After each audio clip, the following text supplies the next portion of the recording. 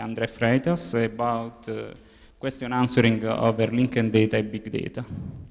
Andre is a PhD candidate at the Digital Enterprise Research Institute at the National University of Ireland and is a co-founder at Amtera Semantic Technologies. His research areas include natural language processing, information retrieval, semantic web, big data, and linked data. He's author of several publications on a wide range of topics in semantic web, in particular vocabulary independent query and natural language query techniques over linked data. Thank you, Andre.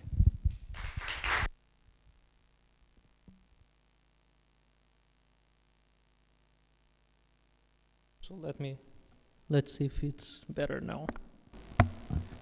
So thanks, Pier Paolo uh, and Piero, uh, for the invitation. So the idea uh, to, of this presentation today is just to provide uh, for you a, a, very comprehensive set of pointers uh, for this area.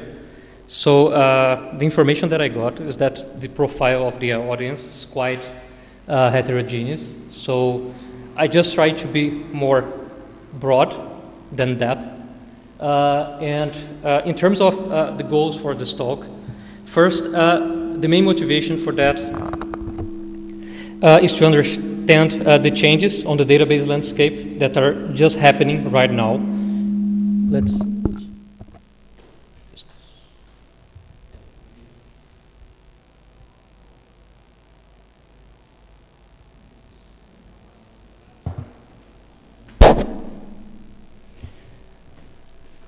So uh, the the first motivation for this talk is first to understand uh, the main uh, changes in the database landscape that are just happening.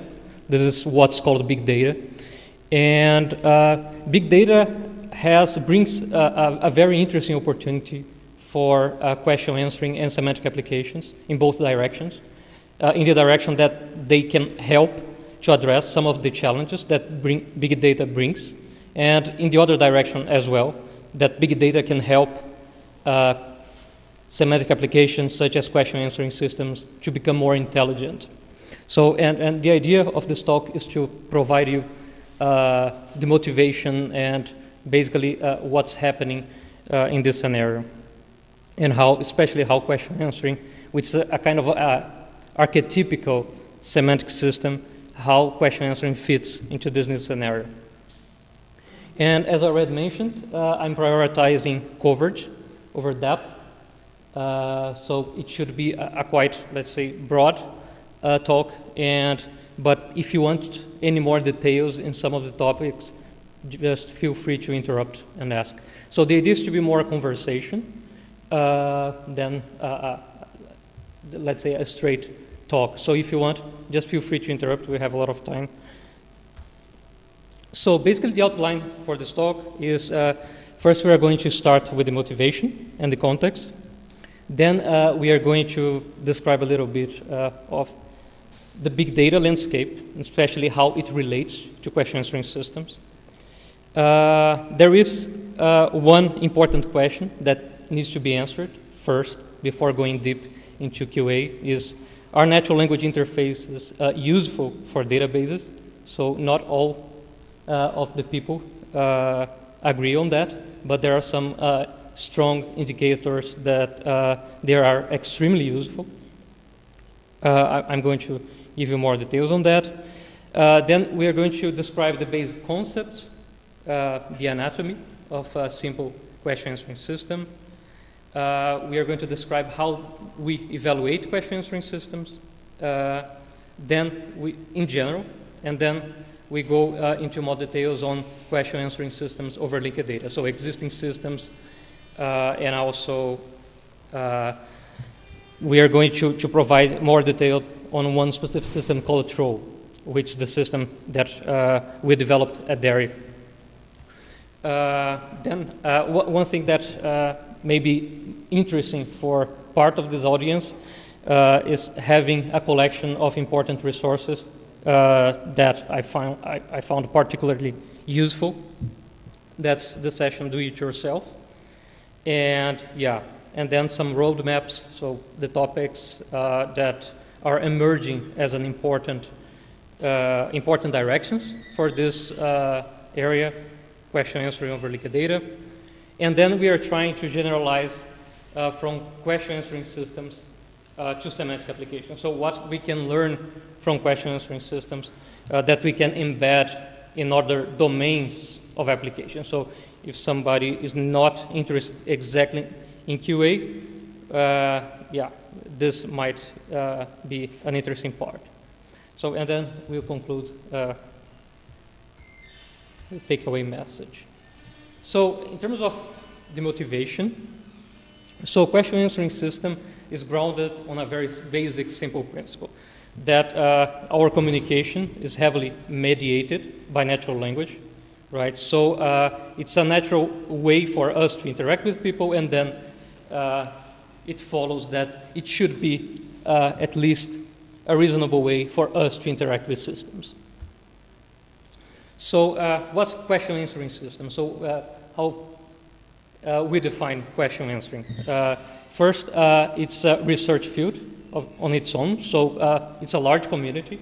it's segmented, so it's not just one research field. Some people focus on more on the computational linguistic aspects, others focus on the, let's say, software engineering aspects.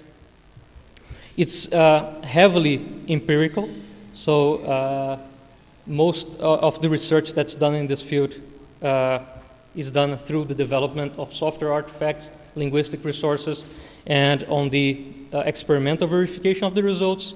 And uh, I believe the most interesting part is that it's heavily multidisciplinary. So uh, it covers natural language processing, information retrieval, databases, semantic web. And uh, this is good, so because somehow if you are in this field, you get exposed to all of these trends and it forces you to have a multidisciplinary perspective uh, over computer science and over the problem, over semantics. Um, okay, the basic idea is quite simple. You have a question, which is your information need. Uh, you think that some uh, resources out there might contain uh, the answer for your question, could be text, could be databases. And then you have a system which will uh, look at the resources and match uh, the information the resources with uh, your query, and in the end, we will provide an answer. So we are going to use this query, this question, as our question to walk through uh, the examples. So uh, there are some questions, especially from people from other communities about how useful uh, are question answering systems. It would seem for a, a, person just coming to the field that would be, of course, it's very useful.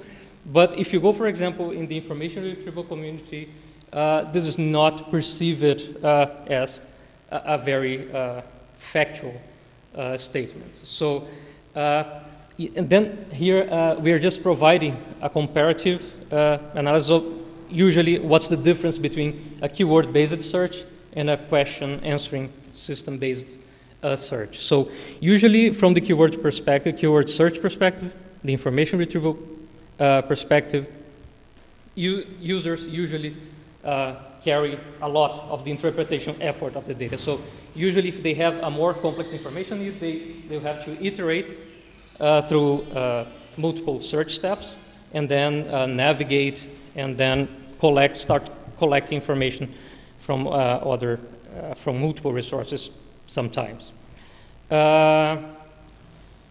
So it's usually said that information retrieval systems tend to be answer-driven uh, information access in the sense that you try to replicate uh, the keywords which, in which your information is represented. So you're not asking a question, you're just trying to find the resources which are out there with the best uh, information that you have. And yeah, in terms of input and output, you are already quite familiar with that. Uh, so the difference between information retrieval and QA uh, could be summarized as uh, QA delegates more uh, of the interpretation effort to the machines, right? So we are expecting more from the machines in this case. Uh, it's a query-driven information access, and as I already mentioned, you have a natural language query input, uh, which usually means uh, which usually is good to uh, represent uh, more complex information needs. So if you have a very trivial query, such as uh, where someone uh, was born or, or uh, that you can represent by the name of the person and then the place or is someone from some place, uh, maybe a question answering is not uh, the ideal scenario for you, but it will address your query uh, anyway. So now if we contrast with databases, so usually the database community is much focused on relational databases, right? So a lot of the effort is about optimizing uh, algorithms for querying, query planning over relational databases. And uh, the scenario that we have, let's say, until a few years ago, is that databases uh, schemas were somehow manageable. So you could have a, a quite large schema, but uh, these schemas were quite well behaved, quite well controlled. Uh, but this landscape is changing, uh, and we'll talk a little bit more on the big data session on how uh, databases uh, are shifting in the direction of more complex databases. But usually when you talk about interaction with databases, you need to master uh, a structured query language, the syntax of a structured query language, and you need to understand uh, what's behind the schema of a, a, database. So you need to understand the schema in order to build the query, uh, and, and, this implies that this schema should be relatively simple. Otherwise, it will take too much time for you to build that. So again, the same QA. In QA, you expect that the system will do uh, the interpretation for you and you delegate more to the system. So QA is a more demanding uh, scenario in both cases. So, and, uh, and the, the major practical thing is that uh, from a systems deployment perspective, uh, all of the three are very complementary, right? So usually you have information needs which are well satisfied by keyword search, by structured queries, and you have other information needs which are more complex, uh, which depends on, on, let's say, more distributed resources. And in this case, uh, QA can uh, work pretty well. So uh, I believe just to show you what's the vision. Computer, this is Lieutenant Commander Data. Please access all Starfleet command orders to starships, star bases, and colonies for the last six months. Working.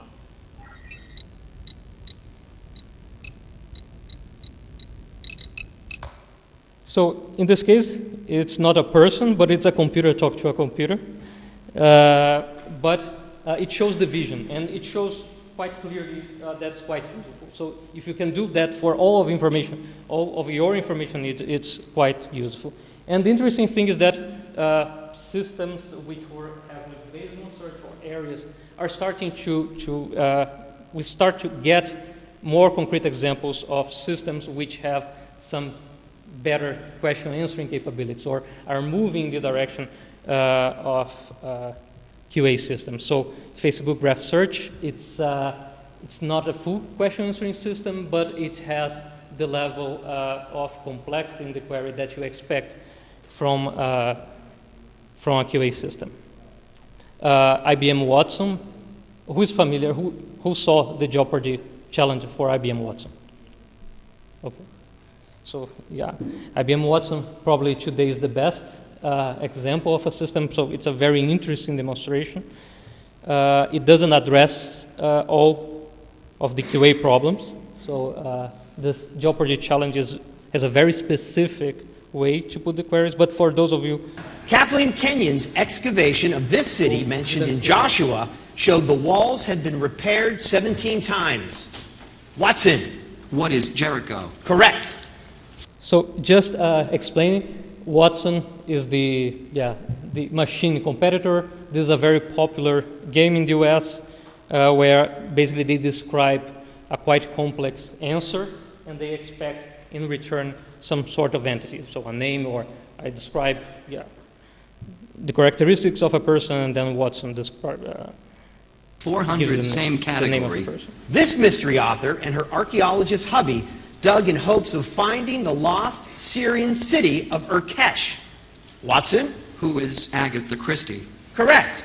Same category, 600. At the Olduvai Gorge in 1959, she and hubby Louis found a 1.75 million year old Australopithecus boisei skull. Listen. Watson, Who is Mary Leakey? you're right. 800, same cat. So uh, it shows that these things are, are becoming reality. So, in uh, yeah, years ago, it would be uh, quite, I mean, science fiction. But again, Watson uh, doesn't address all the problems. And as you know, uh, Apple Siri as well is uh, another very successful example of a question answering system. But the architecture behind it is not that, the whole architecture behind it is not that clear.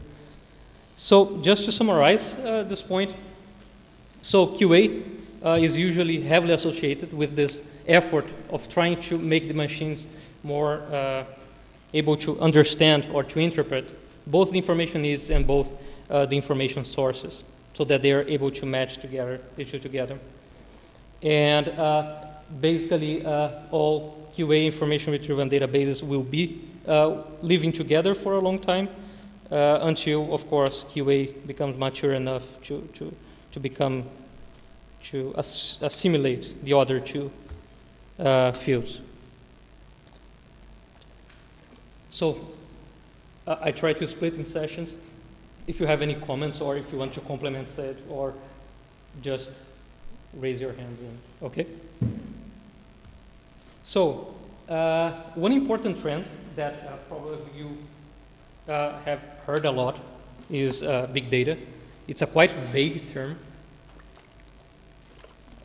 Uh, yeah, and this has a lot to do with different people having different perspectives of uh, what's big data.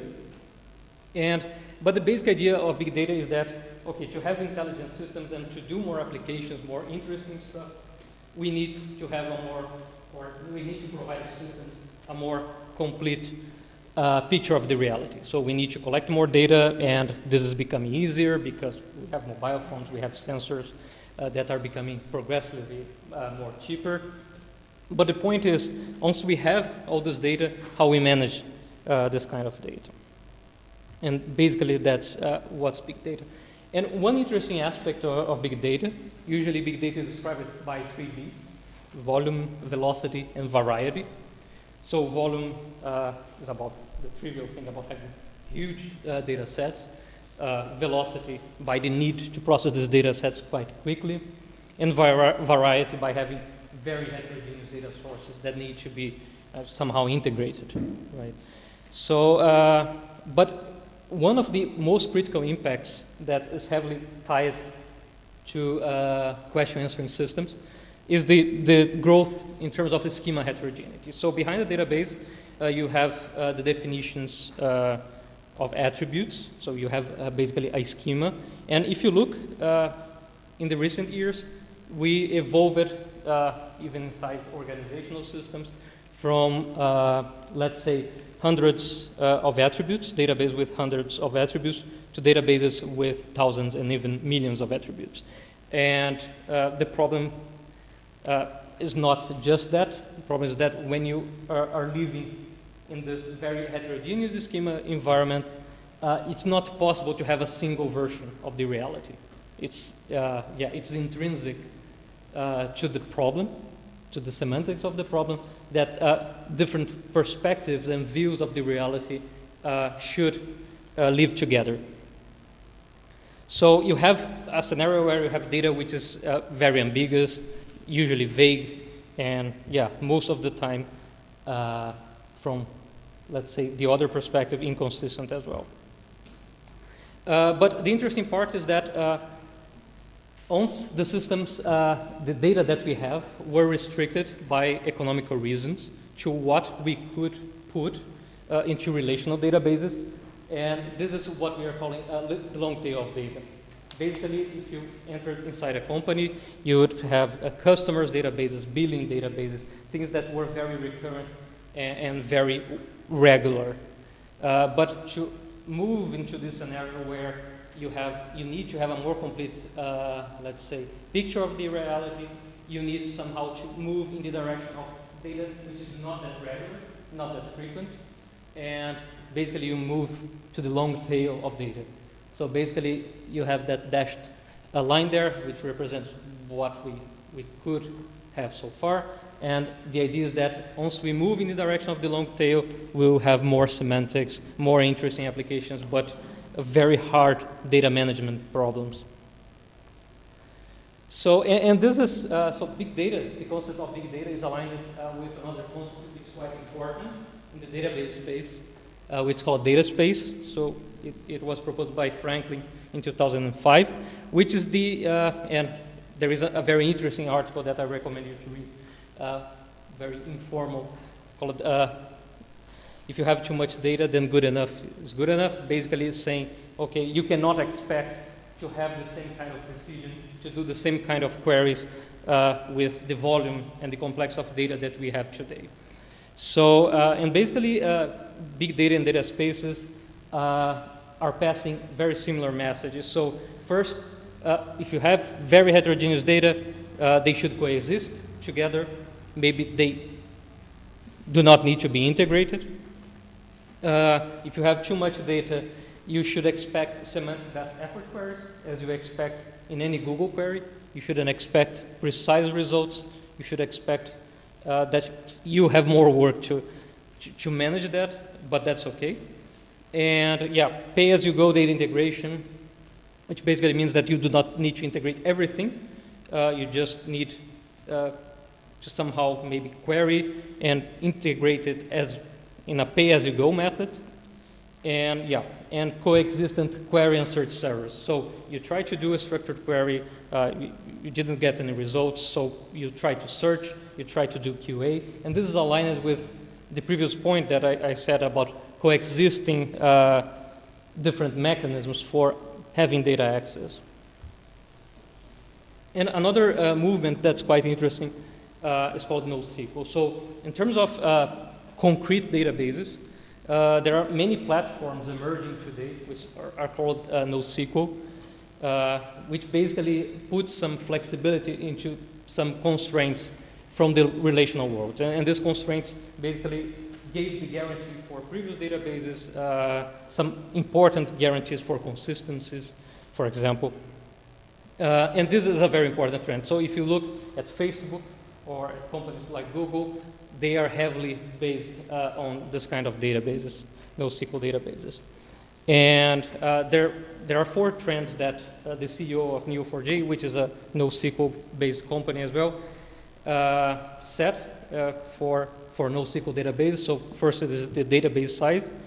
Uh, let me just move to the, sorry, which is quite clear that the amount of data that we, we are having today is growing exponentially. So these constraints that NoSQL platforms uh, flexibilize, uh, yeah, this, you have no other uh, way to manage the data.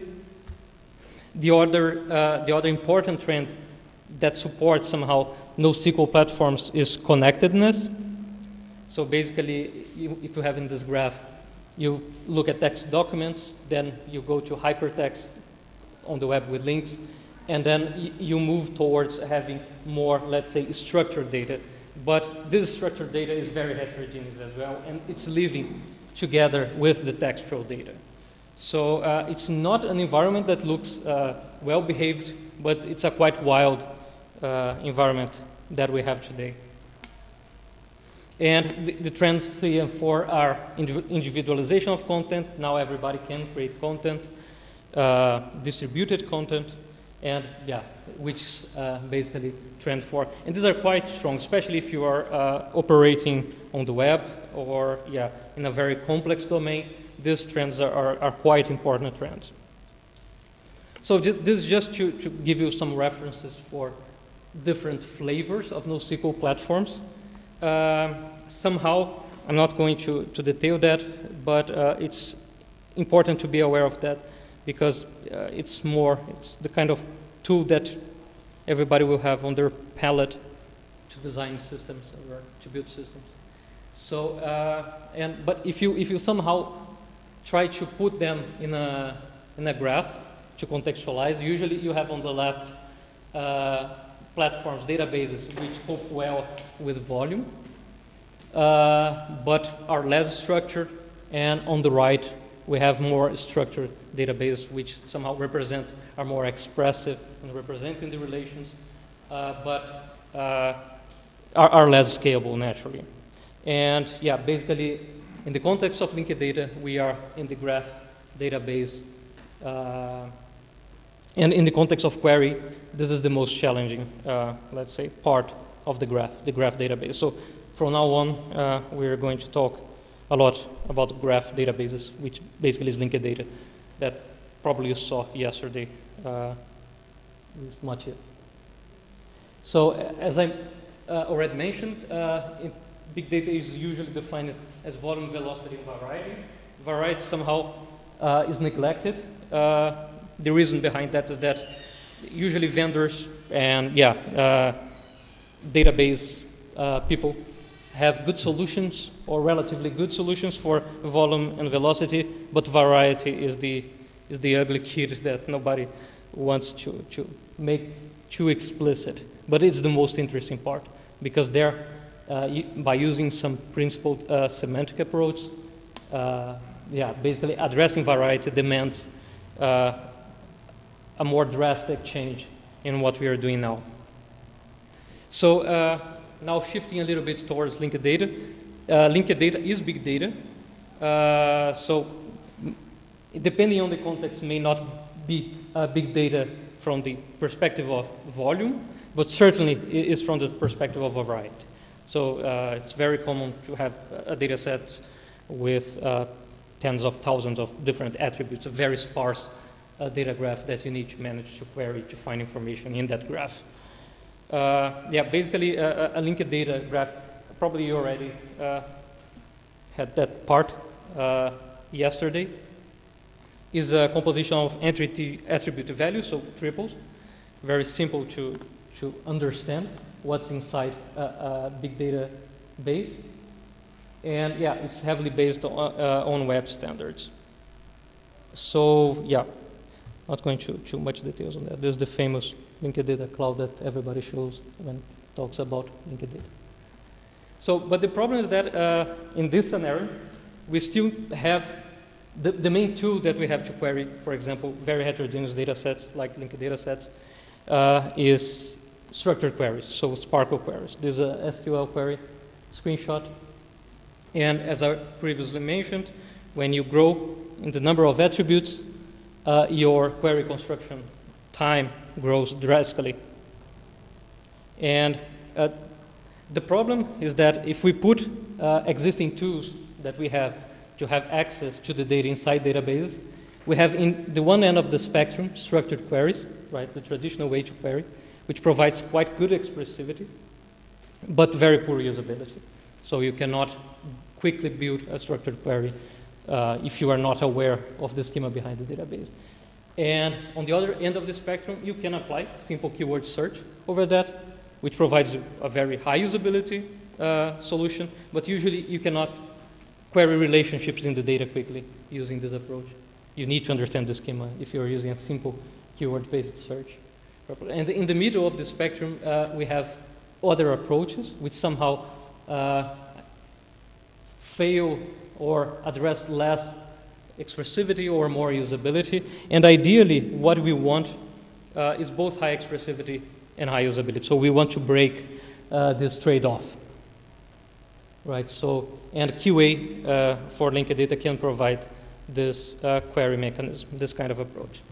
So using our example query, uh, the problem is uh, what we can define as a vocabulary problem for databases. So the user have an information need, uses his own vocabulary to express his information needs, but he doesn't know how the data is represented inside the database. So these are examples of possible representations for the data.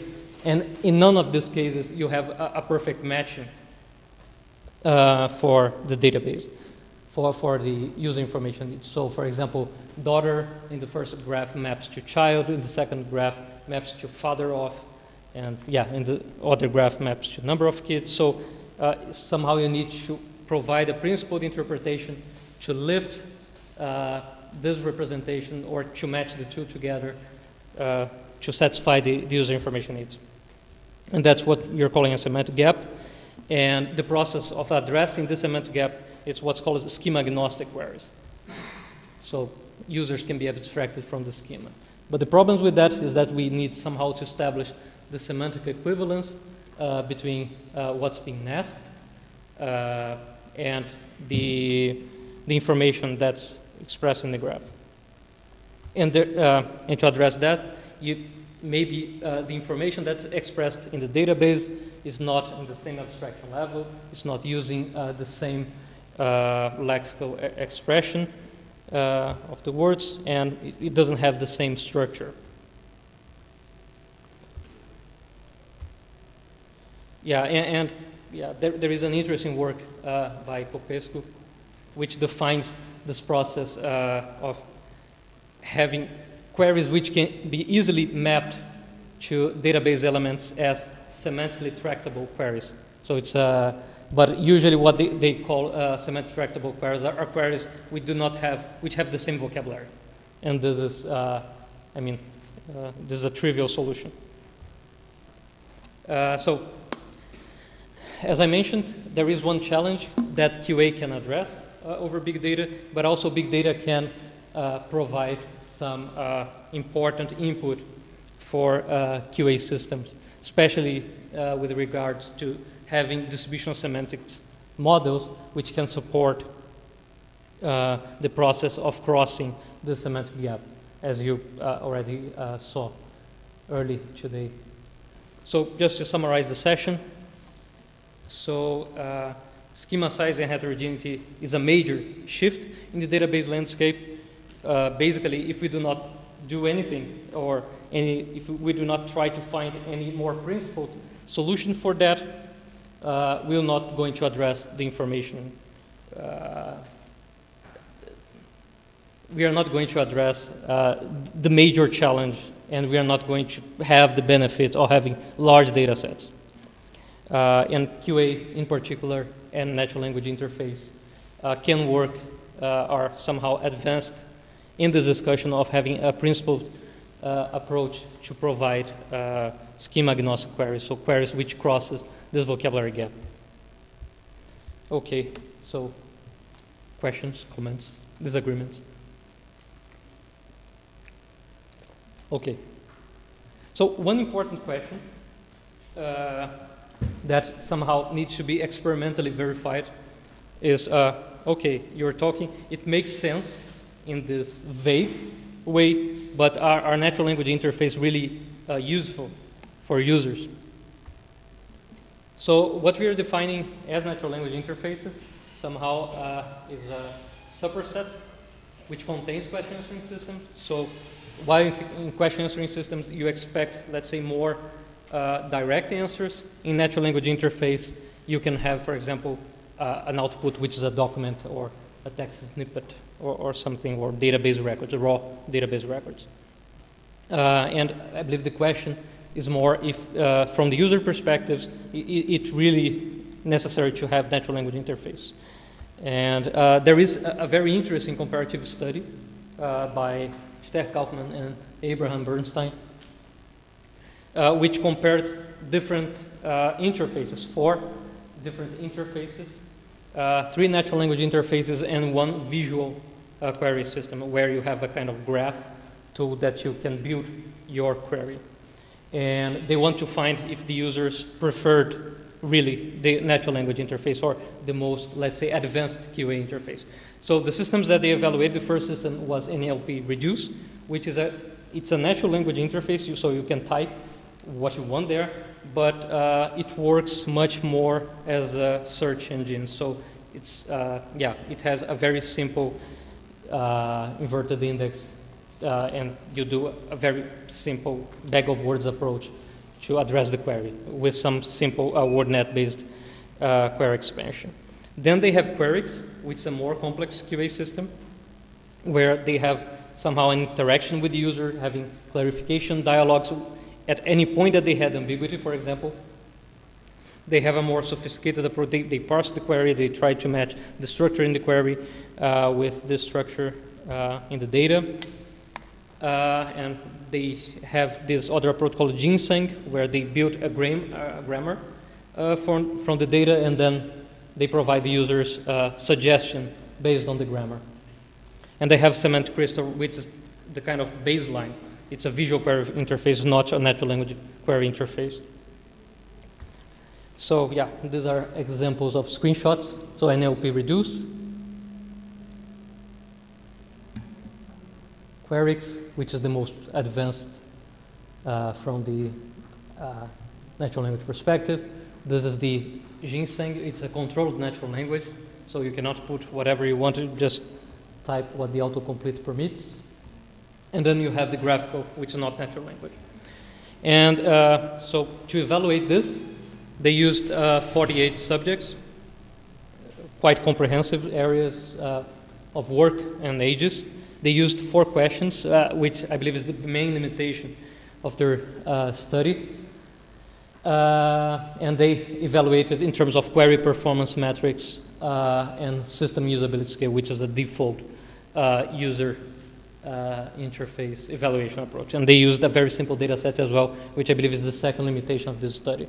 But it's a very good first study, very principled uh, first study.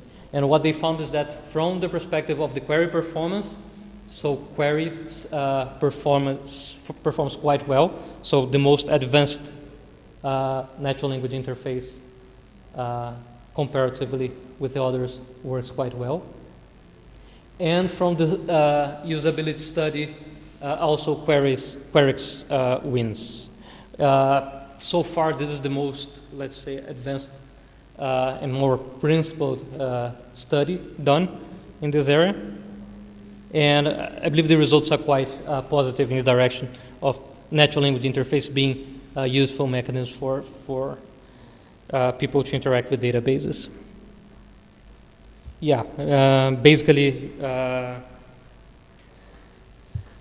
the, the, the, the, possible interpretations that they had uh, for people liking, in the end, people like it a lot using natural language uh, interfaces, in even more, let's say, more sophisticated natural language interfaces. And yeah, the possible interpretation for that is that it's a natural way to do that. Uh, people do not need to think a lot in order to ask a query. And you can provide a more complete description of your information needs instead of trying to find a, strategy, a search strategy uh, to address your information needs. So, yeah, this basically is the motivational part covered. So, Pierpaolo, are you controlling the time or I can How, uh, just have a Yeah, maybe we can continue until we finish. We complete one hour and then we have a break. Perfect. So, any questions so far? Comments? I have one. Okay. And it's about the user study. Mm -hmm. uh, yes, I, I, can agree with you that four questions probably are just um, too few, uh, but the, the experiments show that um, I was expecting more people should like like a visual approach for for uh, building queries and things like that. But this is not really the case. And uh, from, a, from the other point of view, I would have also thought that uh, people would have liked the, the complete freedom of uh, like normal search engine, say like, like something like that. But the way in between is, is probably the best, the, the, the best way. And uh, I cannot really figure it out. It, it seems to me that it's not that intuitive. And do you have some ideas about that? Why, in, your in your opinion, is, is it is like uh, one important point uh, is that they used a very simple database to do the user studies. So the question answering system behaved quite well, behaved quite well. So if you consider this scenario, it's the ideal scenario somehow, right? If you have uh, a perfect or let's say a, a good performing uh, question answering system that can address uh, it's the most natural way, especially if you're not from uh, computer science. So they, they explore different age ranges, different area ranges. Usually these studies are done with computer science stu stud students, but they, yeah, they, they had journalists, uh, historians. And so from this perspective, I believe this uh, yeah, points in the direction of having a more uh, intuitive interface. And, uh, and also uh, addressing the queries that they posed there, they defined it there, yeah, demanded keyword searches was not the best way to address these queries. So usually people are familiarized with keyword search uh, from the perspective of document search, right? But not from the database search. So probably the user experience really pointed in the direction, uh, yeah, of having. But if you have a very complex database, for example, yeah, probably the results would be uh, different. So instead of the Tang and Mooney, which is a, a very simple data set uh, with a lot of instances, but uh, yeah, very simple schema, they had DBpedia. Uh, yeah, you would need to have a more robust uh, query interface to support that, QA interface support that. And in terms of time, yeah, the construction with the visual query interface gives more control, but the time, let's just, yeah, it's, so Semantic Crystal, yeah, it's twice.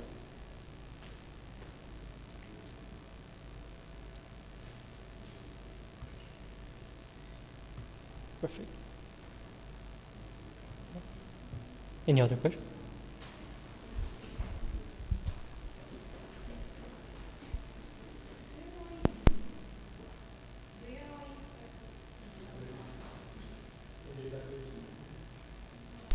Do you know if a similar study has been done on uh, search engine, on the natural, on the normal web? Because, okay, um, I wonder, if, since uh, also people on the web usually use just some keywords, they don't address a query like a natural language query. I wanted to know if uh, there is also a similar study on search engines. So uh, I'm trying to. So there is one way to see your question, which Mhm. is there are similar user studies on uh, search uh, keyword search engines. So just taking that, uh, there are similar studies, but they are much more detailed. So they compare specific features of a search engine. So usually uh, the community is at a point that they are optimizing, uh, yeah, the, where they display the faces, if this impacts uh, the search.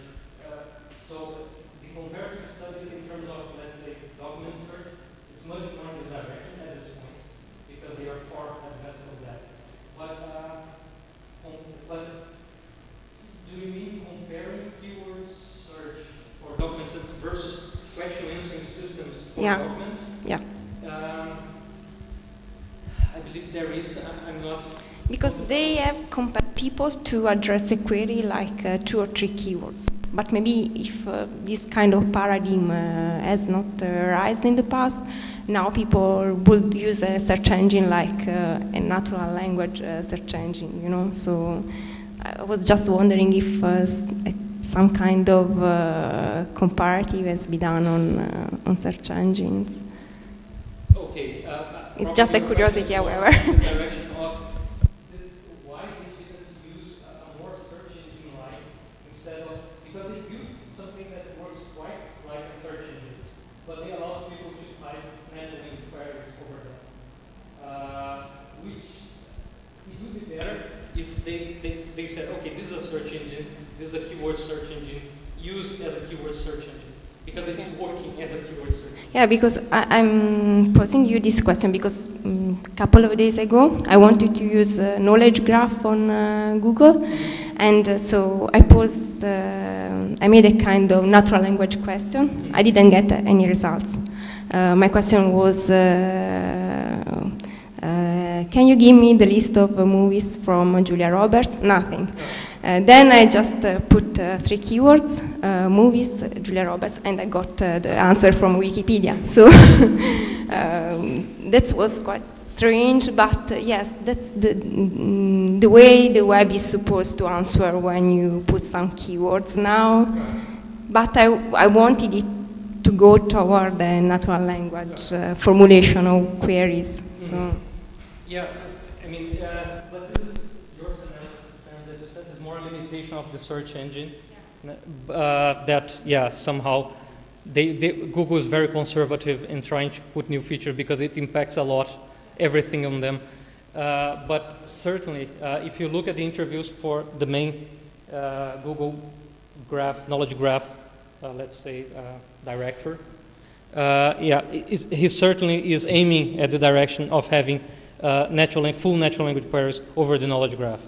So that's what really, it's a very important, let's say, sector inside Google, and it gets a lot of attention. But the point is that it takes a lot of time for them to, to put these features at a stage that they can become robust and let's say uh, web scale usable, usable at a web scale. Uh, but but you, your question also points in direction uh, which is interesting. It's why they didn't make keyword search more explicit in this user study. Uh, but from the point of view, for simple queries, uh, queries which can be like the one that you mentioned, films by Julia Roberts or Ju Julia Roberts movies. Uh, this can be satisfied both by a more complex, let's say QA-like query and by a keyword-like query.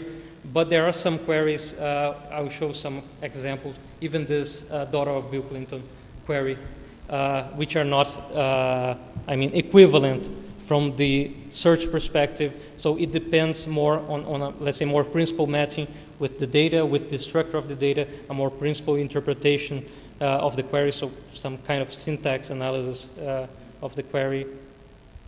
Yeah, perfect.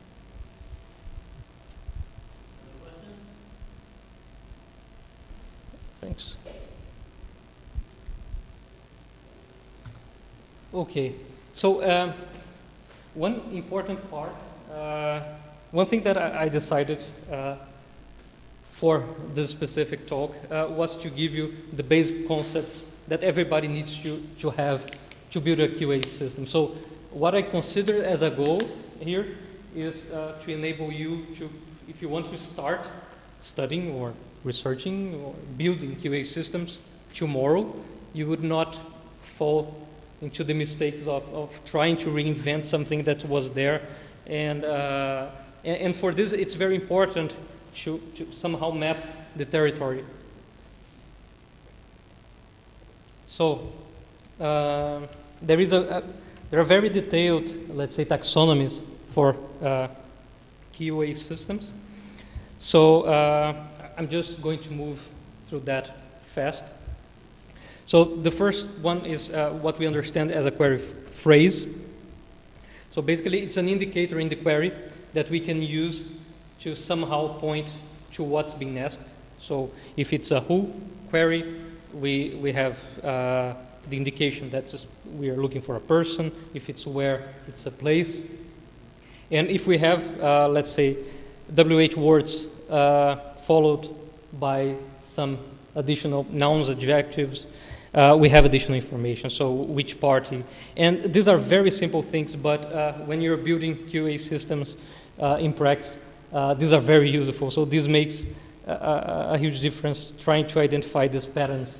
And yeah, and question phrases gives very simple but very uh, important in indicators. So uh, another, let's say, dimension or taxonomy which is important for uh, question answering systems are uh, the question types. Uh, usually you can make these question types taxonomies as much complicated as possible so you can really grow in, in complexity and depth in these taxonomies. But basically uh, we have usually this uh, agreed, let's say, higher level classes for, for queries. So we can have factoid queries, such as who is the wife of Barack Obama, uh, based on we have a list queries, give me all cities obeying this criteria.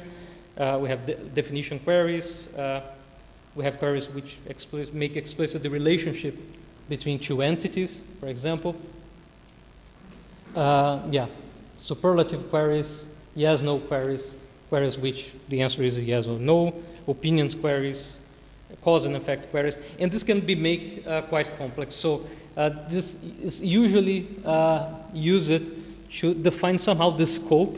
So if you're evaluating a system and using, let's say, a query set, you need to define the scope of your query set, so the nature of that.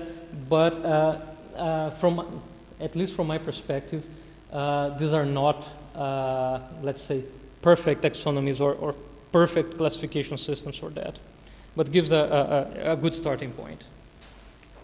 So answer type uh, is the type of entity or answer that you're looking for a query that can be mapped uh, from your question phrase.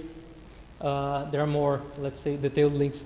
I'll leave the slides uh, on SlideShare so that you can take the pointers afterwards. Basically, it's the mapping from the question phrase to the type uh, of entity. Um, another terminology based concept is question focus. So usually it gives you the indication uh, of the property and the entity that you have in the query. So for example, yeah, what color? So what's, I'm looking for some uh, property if I'm thinking about a database or a graph uh, which expressed as color. And question topic, which somehow uh, gives the higher level area that the query uh, addresses. Uh, from the point of view of data sources, we can have data sources with different structure levels. So going from structured data to semi-structured data to free text. We can have single data sources, multiple data sources, or web scale data sources. So uh, again, this is very important uh, first for you if you start to, to develop an approach to have this approach very well scoped. So, uh, and you need to define this uh, a priori uh, so that you do not try to solve everything, all the dimensions of the problem together. So it's very important that from the start, okay, I'm going to address factoid queries uh, on single data sources for structured data. And this gives you the value of your contribution and makes it comparable to others. Uh, you, but uh, despite the fact that this is very well established, usually this scope is not well defined.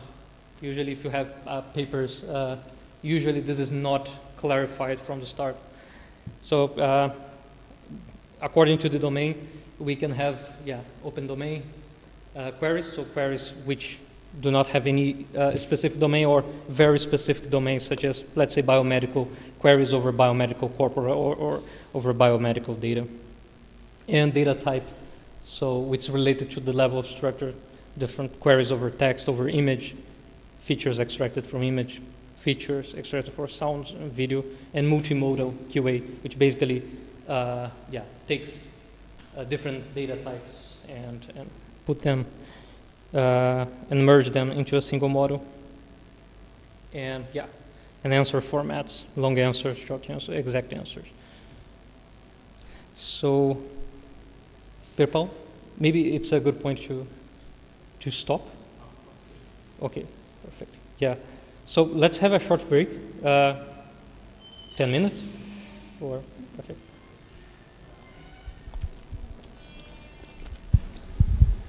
If there are any questions at this point, please ask them, or we can just go to the break. Okay, let's break.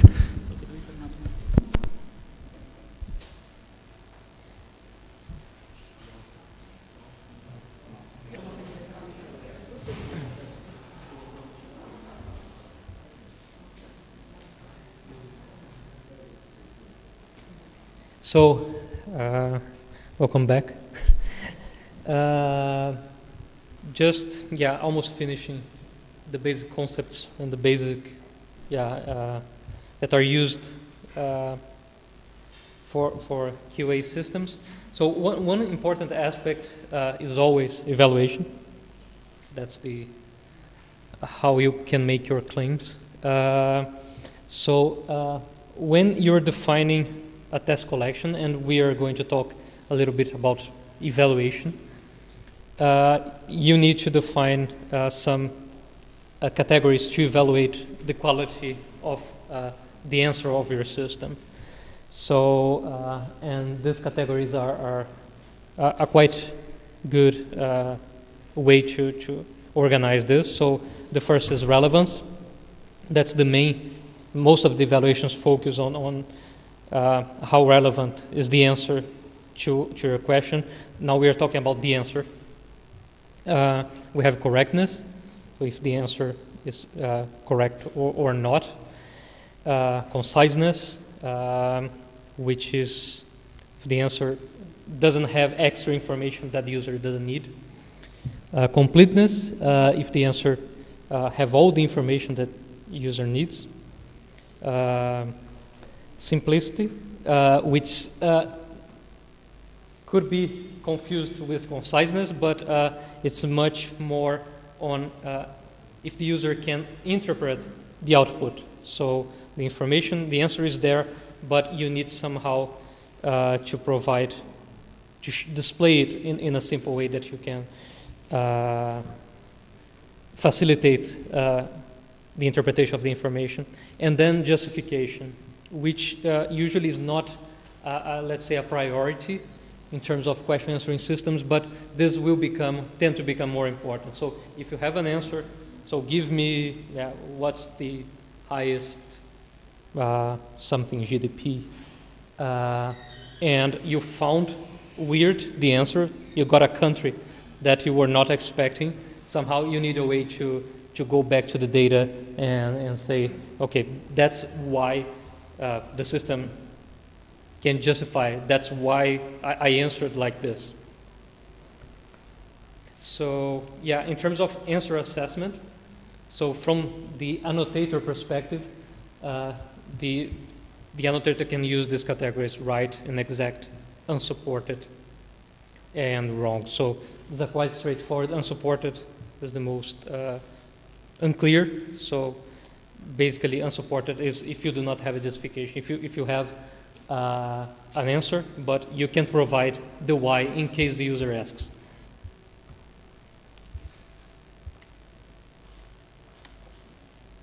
So, uh,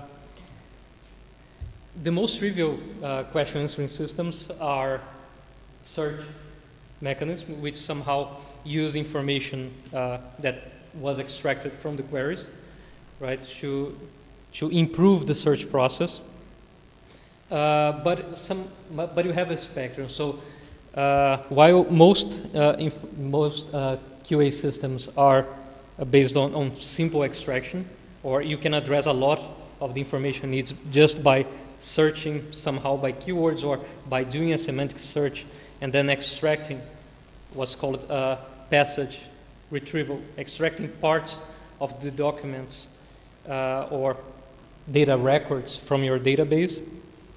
You can also think about, about more sophisticated approach to process the answers. So uh, some answers may depend, for example, on the combination of input from different data sources. So your answer is not answerable by just uh, looking into a document or in one database. You need to combine uh, different databases uh, or even structured data together with unstructured data. Somehow you need to process that. Maybe you can do some reasoning. And yeah, that's the category that we are calling combination here. And uh, in the evaluation of question answering system, somehow this category is underrepresented because the, it's very time consuming to actually uh, try to define, let's say, questions which fall into this scenario because you need to build this scenario, right, uh, to evaluate that.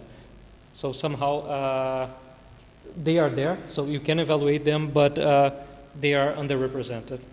Uh, a lot of the QA, let's say, tasks are simple extraction or can be addressed by simple extraction. So we have summarization, where we need to somehow reduce uh, the to generate a summary uh, of of the data. So you cannot output the whole text, or or uh, you need to summarize that. You have uh, operational and functional queries. So if you think about get me the highest mountain uh, on Earth, uh, you need maybe you have this information in a database saying Mount Everest is the highest mountain, but it's very likely, especially if you're thinking about the database, that you have uh, a class called mountain, and, then- uh, and then you have associated a lot of instances, so Mount Everest, K2, and other mountains, uh, yeah, with different heights. And then you need to process that, so you need to do an operational uh, or functional processing of that. So sorting it, uh, getting the topmost, and so on. And also, uh, yeah, you can use some reasoning, and, and by reasoning, there is no limit. And this is also a very underrepresented category. So queries which are dependent on uh, deductive reasoning, uh, abductive reasoning, inductive reasoning. And uh, this is a, a, very interesting part of QA, but somehow is still out of QA. So uh, we have domain experts in, in these areas, but this is not already fully transport to the question answering domain. But certainly it's one of the most interesting directions to, to investigate. Uh, okay, this is just probably the last categorization, uh, which uh, in regard to the complexity of question answering tasks, which is somehow related to the, the previous slides. Uh, so the first one uh, is called what's called semantic tractability, and uh, it's not a, a, good expression to describe it, but we are using because it's a very popular uh, yeah, description. Basically, uh, if you look, for example, from the perspective of database, what's called a semantically uh, tractable query is a query which has the same vocabulary of the database. So the user somehow uh, discovered that the database has uh, this information there with the exact keywords that they are using. So this is a semantically tractable query, uh, which is not realistic. Uh, another uh, complexity criteria is related to answer locality. So this idea of having very local in one document, one database versus spread, uh, let's say answer indicators or let's say partial answers for your final answer. Another uh, is derivability, which related to reasoning. So how far or what are the processes that we need to employ to derive uh, our answer so it's not direct, it's not just a matter of extracting and combining. We need to do some uh, sort of transformation and reasoning over that. Uh, and then we have semantic complexity, which is related to the ambiguity, vagueness of the uh, data, of the uh, unstructured text. So if you look at, I mean, from the high level perspective of the components of a question answering system, uh, you have a question entry into a question analysis module, which basically is going to try to extract as much information as it can uh, from the question. So basically, it's going to do a feature extraction based on that categories. Uh, uh and will process the answer, for example, doing uh, a parsing of, the, of the question. Uh, then there is expressed as just keyword query but I would say that can be more, of course, more complex than that. But basically, it will try to have a search process that uh, will look into the web, a corpora, or a database, uh, and try to extract what's called some passages, so passage retrieval. So basically, possible uh, excerpts of interest from your whole data uh, corpora, right? And after that is done. Basically, uh, also there is not just answer type, it can be other features.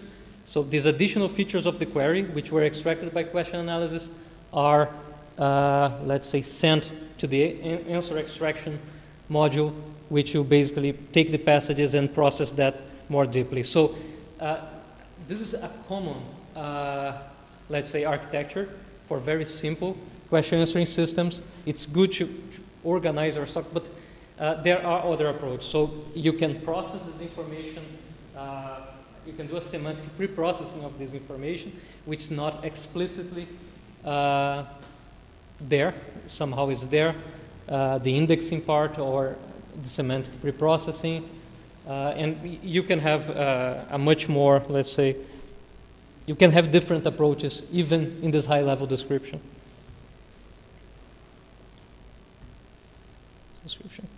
So, any questions so far? Okay. Uh, oh. Questions? No. okay, so uh, especially if you are both if you are in the scientific community, but also if you are if you have a company or if you want just to build your own QA system for fun.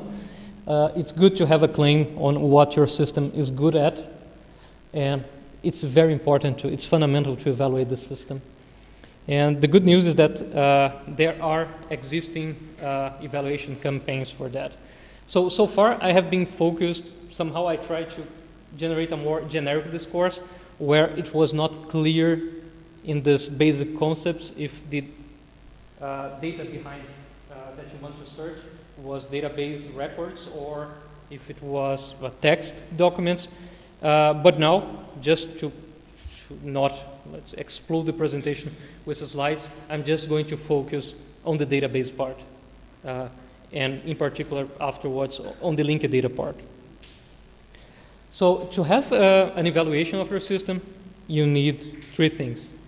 You need questions, you need uh, data sets, so where the information is located, and you need the answers. So, and the questions and answers need to be generated in such a way that somehow it's representative of your problem. So you cannot just come up by yourself with some. You can do that for some base text, based uh, yeah, tests, but uh, you need somehow to have uh, a representative sample of the society, uh, of the domains that may be interesting for all the people, and of different query features that different people may be interested on that. So that's the reason why usually these resources are community built. So uh, usually it's not one person, never is one person. And they can be very expensive to generate. So uh, yeah, TREC probably costs, which is the main evaluation in information retrieval, probably costs, yeah, millions of dollars, probably 10 millions. There was some, do, do you remember? Pierre was there uh, at SIGIR. Uh, I believe they, they had some number on, an, an, estimate on how TREC, what's the cost of TREC. Uh, not, not for QA, but the whole TREC campaign. So for TREC is an evaluation campaign with many different uh, segments, but you, you didn't hear that. Okay, okay. So, and then after we have this test collection, we need some evaluation measures, which everybody is going to comply with, uh, that somehow is going to provide some indicator on, on uh, what you need. So, just starting by the evaluation measures, uh, the first measure, uh, quite popular measure, is recall. So, the idea behind this measure is to have a statistical measure that says how complete is your answer set. So in the end, you run your experiments, ask it, let's say 100 queries, and you, you want to have a number saying, okay, uh, I, I, my system provided answers which were quite complete, or compared to other systems, uh, these answers uh, were something percent uh, superior in terms of completeness. And you define recall by the number of correct system answers by the number of gold standard answers. So suppose you have the query, uh, which are the Jovian planets in the solar system, and uh, on the right you have the gold standard, Jupiter, Saturn, Neptune, Uranus, and then you have the answers of your system, Mercury, Jupiter, uh, and Saturn. So some answers are missing, and that's what recall is being penalized at. Very simple measure to compute. now, uh, precision uh, will measure uh, how accurate uh, is your answer set. So if you're not returning something that uh, you shouldn't return. So in this case, uh, mercury is the something that you are not, that you shouldn't return. And, oh, there is precision, sorry, instead of recall. And recall basically is taking into account uh, the number of answers that were correct by the overall number of answers that it returned. And there uh, should be precision. Basically, yeah. And then we have uh, mean reciprocal rank. Because somehow we measured the whole uh, answer set, right? Uh, but we didn't penalize in terms of ranking. Right? Uh, even yeah, QA somehow focused on direct answers but uh, QA is not always precise. And the ranking in QA, in question answering, makes sense. So somehow Uh, but in information uh, retrieval systems, definitely makes sense. So re- reciprocal rank is a measure uh, of the ranking uh, quality. So if you have a system, so in this case, uh, reciprocal rank is defined as the first position of the relevant term. So if my ranking is like this, Mercury, Jupiter, Saturn, Jap- uh, Jupiter is the most, is the first relevant uh, answer, but it's on the second position. So reciprocal rank is uh, the inverse of the ranking number, the ranking index. So the reciprocal rank for this question is 0.5.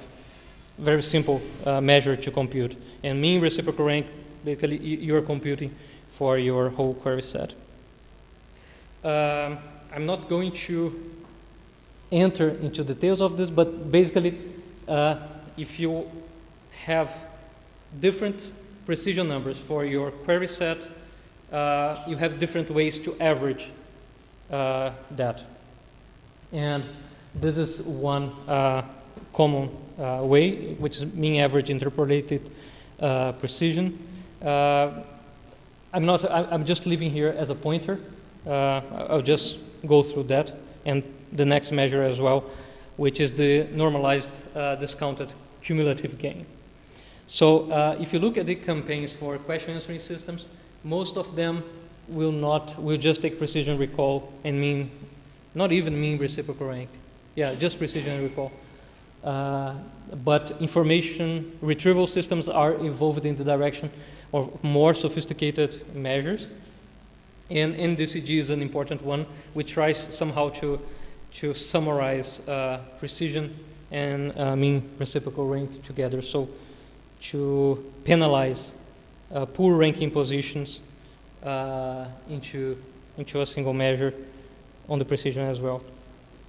But I'll just leave it as a pointer.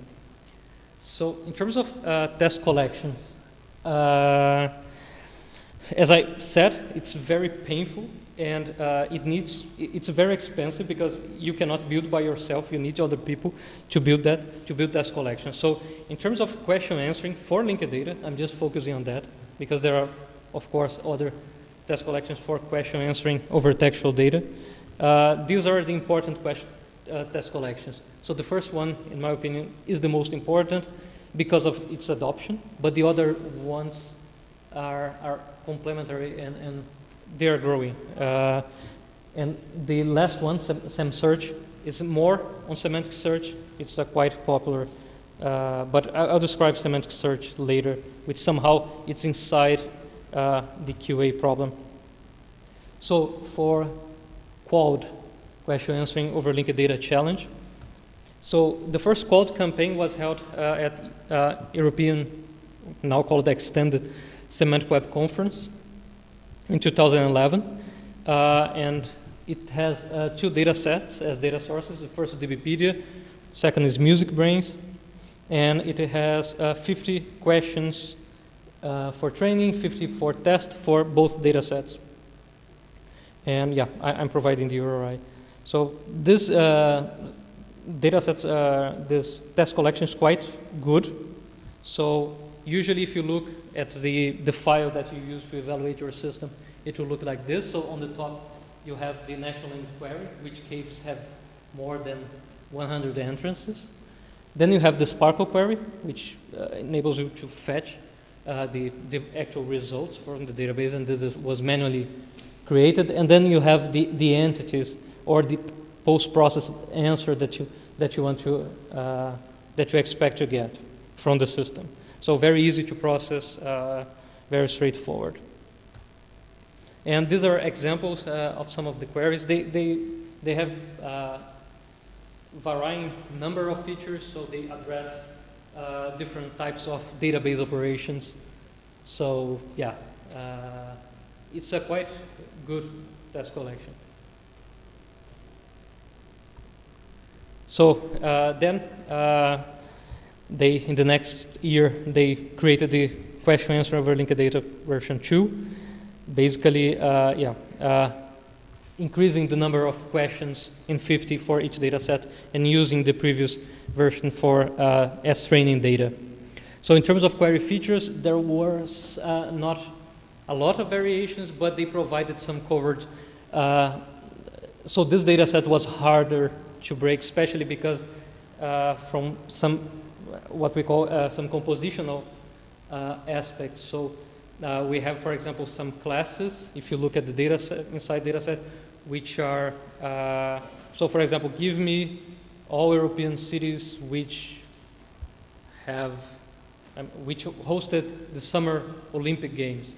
Uh, you may have this expressed as one uh, class inside database, European cities which hosted the European game, or this can be split uh, as in that diagram that I have different representations for data into different properties. So somehow you need a, a principled way to do the semantic matching bit or, or, and to cover all the possibilities. And this data set was exploring a little bit more this type of queries. And yeah, this was expressed in the numbers uh, for the evaluated systems.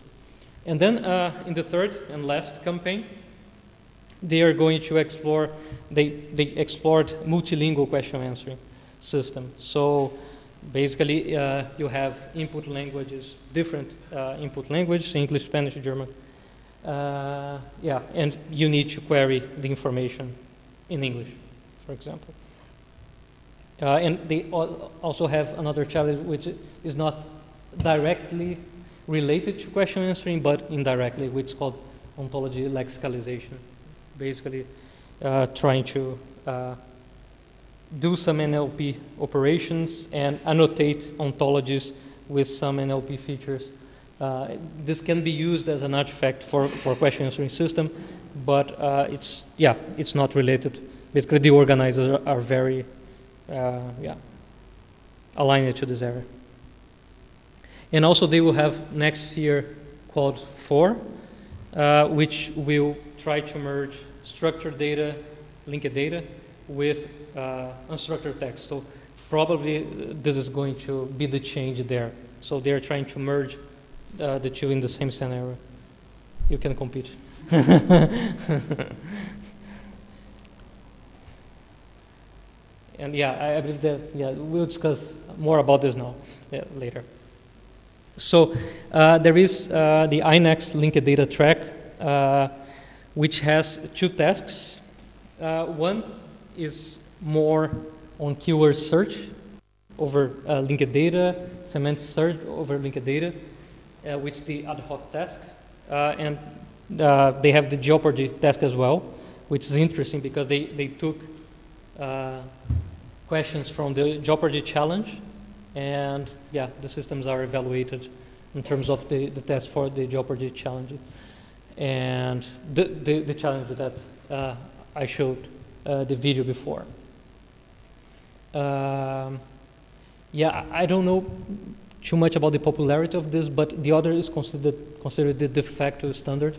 And for the Jeopardy task, they are already mixing linked data uh, with uh, unstructured data with Wikipedia. So basically, it's, the data sources are DBpedia, Yago, uh, Wikipedia. Yago is a, is a data set which is based on the link structure uh, of Wikipedia. So this is one uh, example of uh, an INEX query of the Jeopardy challenge.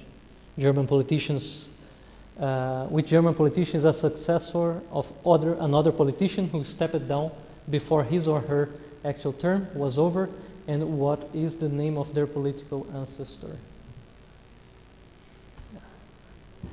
Yeah, this one is more difficult. Usually, Jeopardy queries are, are they have a characteristic that makes them easy uh, sometimes, yeah, most of the time is to address because they are so specific, so specific that uh, in terms of information retrieval, it becomes very easy. You just use the keywords which are very specific, uh, and basically you rank the entities associated with that. But yeah, but here they are asking for two things, and this makes the thing more complicated. So and uh, yeah, the last one is the SemSearch challenge. Uh, which uh, focus on, on a, a, different problem. So, uh, question answering system, by the definition of the input and output, uh, you have full natural language queries, and the output you have uh, post-process direct answers. But um, a quite related field is called semantic search, uh, which basically, some people have different understandings uh, of semantic search, but from the perspective of this challenge, basically consists in searching over linked data sets uh, for individual, uh, usually, yeah, for entities, for entities over the data set, but not using full natural language queries. That's the only difference. And they also will not uh, have queries which will do operations. So uh, some, uh, give me uh, yeah, the highest, or they will not have this, this kind of queries. So basically, the, the queries look like this republics of the former Yugoslavia. So classes describing classes uh, of instances, of groups of uh, elements in the database, which is a sub-problem uh, of the question answering system. So it's good if you have a question answering system, you can ev evaluate. Certainly, you need to address this problem, and you can evaluate uh, your questioning system using this data set as well. Uh, they have two tracks. One is the list search, which looks like this, more describing the classes, and then you expect a list of instances, list of cities, people name, and they have uh, some entity search, what they call entity search queries. Basically, they expect yeah, they are more like keyword-based queries, so less interesting from the, the QA perspective. And this year, there is uh, another evaluation campaign. Campaign. Uh, this is the last one. Uh, yeah, which is domain specific. It's not. Uh, I believe just the people who registered for the challenge could get the data. So uh, it, it, was not clear what was the what were they exploring because I didn't uh, do this challenge. Uh, but basically, it's based on PubMed documents, probably some linked data. I didn't put because it was not explicit there, but probably most likely some linked data as well. So BioASQ, uh, good for evaluating domain-specific systems. So yeah.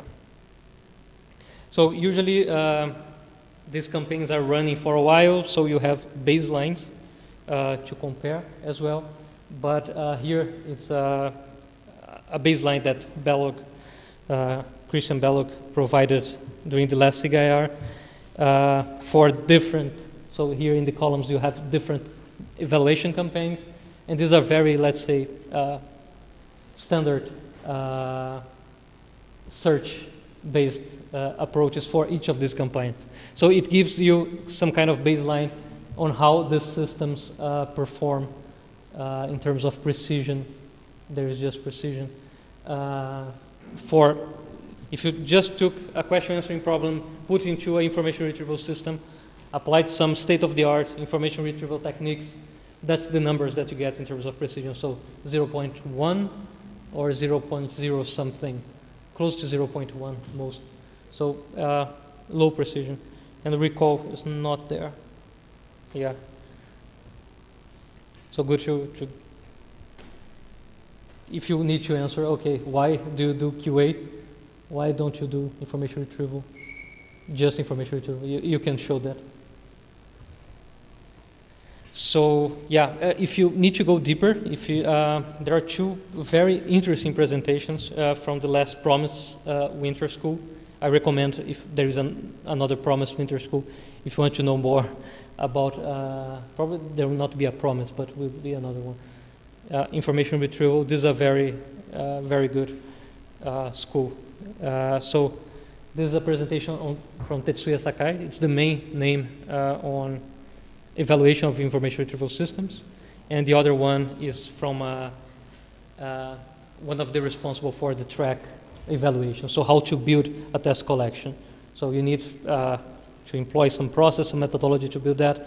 And this is covered in this presentation. So just give you some pointers over that.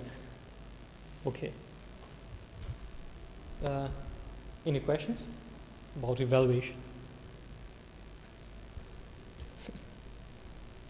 Okay, now uh, just going uh, through linked data.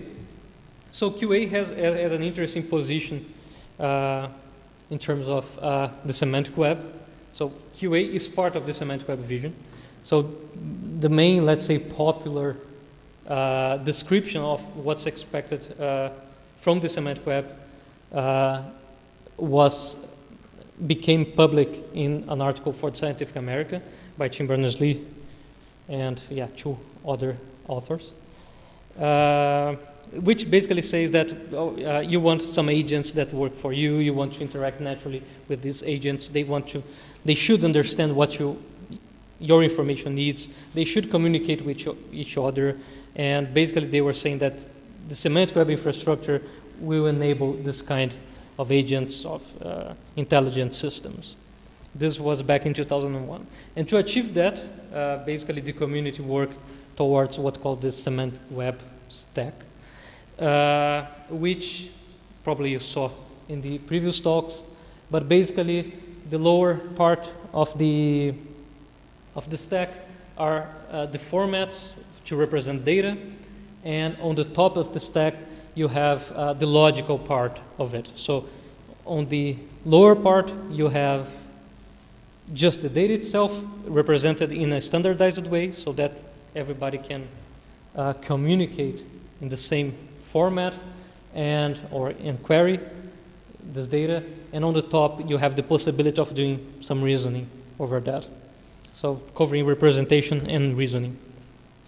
But the problem is that when you start working with ontologies and building uh, things that need to be consistent, uh, it's not that straightforward. So the barrier was very high if you need to, to build a, a, an ontology that needs to be consistent for that.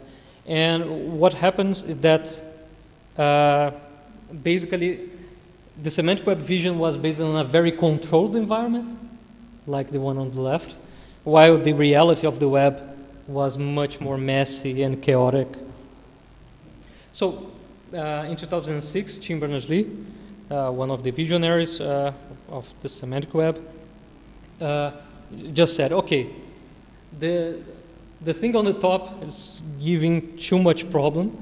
Let's just transform the web, the semantic web vision, into a huge database vision, right? So instead of having the reasoning part, uh, let's just take the data out of the databases. So you just triplify, put in a common format, and then we have something, we have part of the plan solved.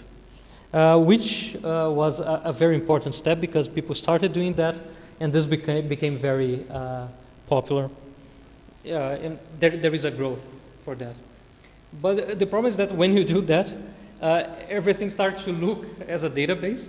So okay, now you have this data, and now you do a very boring query to that, and uh, it takes a lot of time for you to understand what's there, because creating a SPARQL query for Linked Data is not something that you do fast. You need to understand what's there.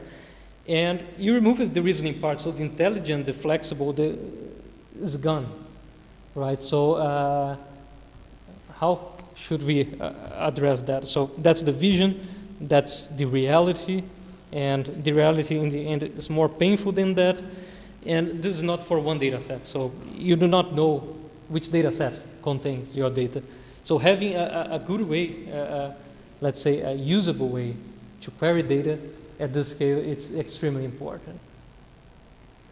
So, but, um, but linked data ha has very, I mean, uh, characteristic features that are important anyway. So uh, it's a graph-based data model which gives you a lot of flexibility to express the things. It uh, has an extensible schema, so you can put whatever you want there on the web. You do not need to ask anybody for permission. And uh, one thing that emerged uh, quite clear is that there is an entity-centric integration method, which is quite efficient. So usually uh, named entities tend to be less ambiguous, and they are used, named entities like people, name, place, name, uh, and they're used to integrate different data. So uh, in the end, it was a quite successful experiment. And it's, of course, uh, it's, there are other databases which have the features on the top, but linked data has some specific pluses which are very important, which are the standards. So, uh, and uh, it's based on, on the infrastructure of the web as well. So the main negative here uh, the main positive part is you have some level of interoperability by the format. Uh, there is no full semantic interoperability, of course. Uh, it's a much more complex problem. And on the negative side, um, yeah, you have data consumption is one problem. Data generation, how you build your data, this data sets is still um a problem. And yeah, linked data is still far from, from the semantic web vision. So QA, uh, now with this scenario, question answering somehow becomes a fundamental part of uh, trying to rescue the semantic web vision. So trying to find, uh, to give the flexibility back to the semantic web uh, over by using linked data. So uh, it's important when you create, uh, especially in a system-oriented area such as, uh, as question answering, it's important to have some common set uh, of requirements. If you think from a systems perspective, for question answering over linked data. So the first one, I'm just going to go fast them, uh, is usability. So supporting natural language queries, it's a way to have usability.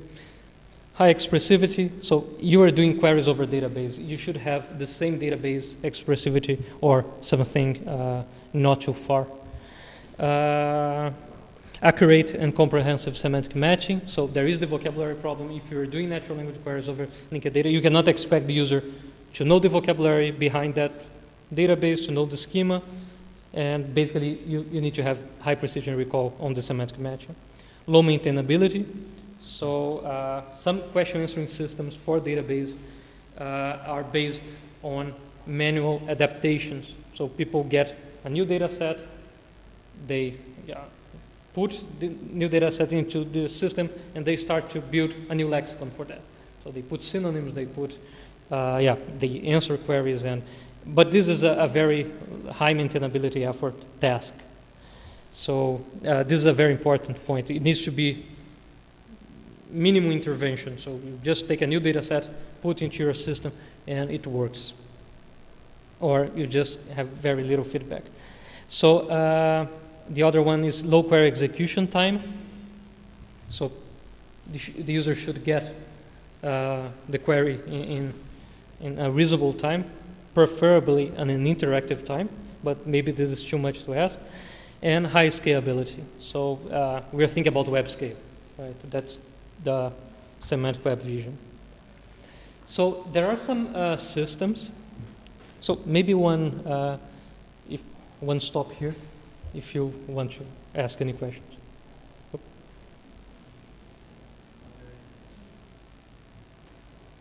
Okay, perfect.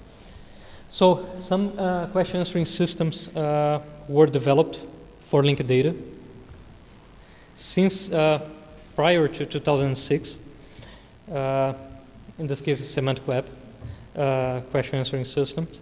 And there are more question answering systems than this list, but I just took some uh, which I consider a good combination of features that we can use to discuss. So uh, the first one uh, is the oldest. It's called uh, PowerAqua. Uh, and the key feature, PowerAqua was one of the first uh, systems to do that. So usually the first systems try to do the very, let's say, the first naive approach, or, or they, they do some query parsing, they have a search engine, keyword search engine, and yeah, they build a SPARQL query from the query and execute over the search engine.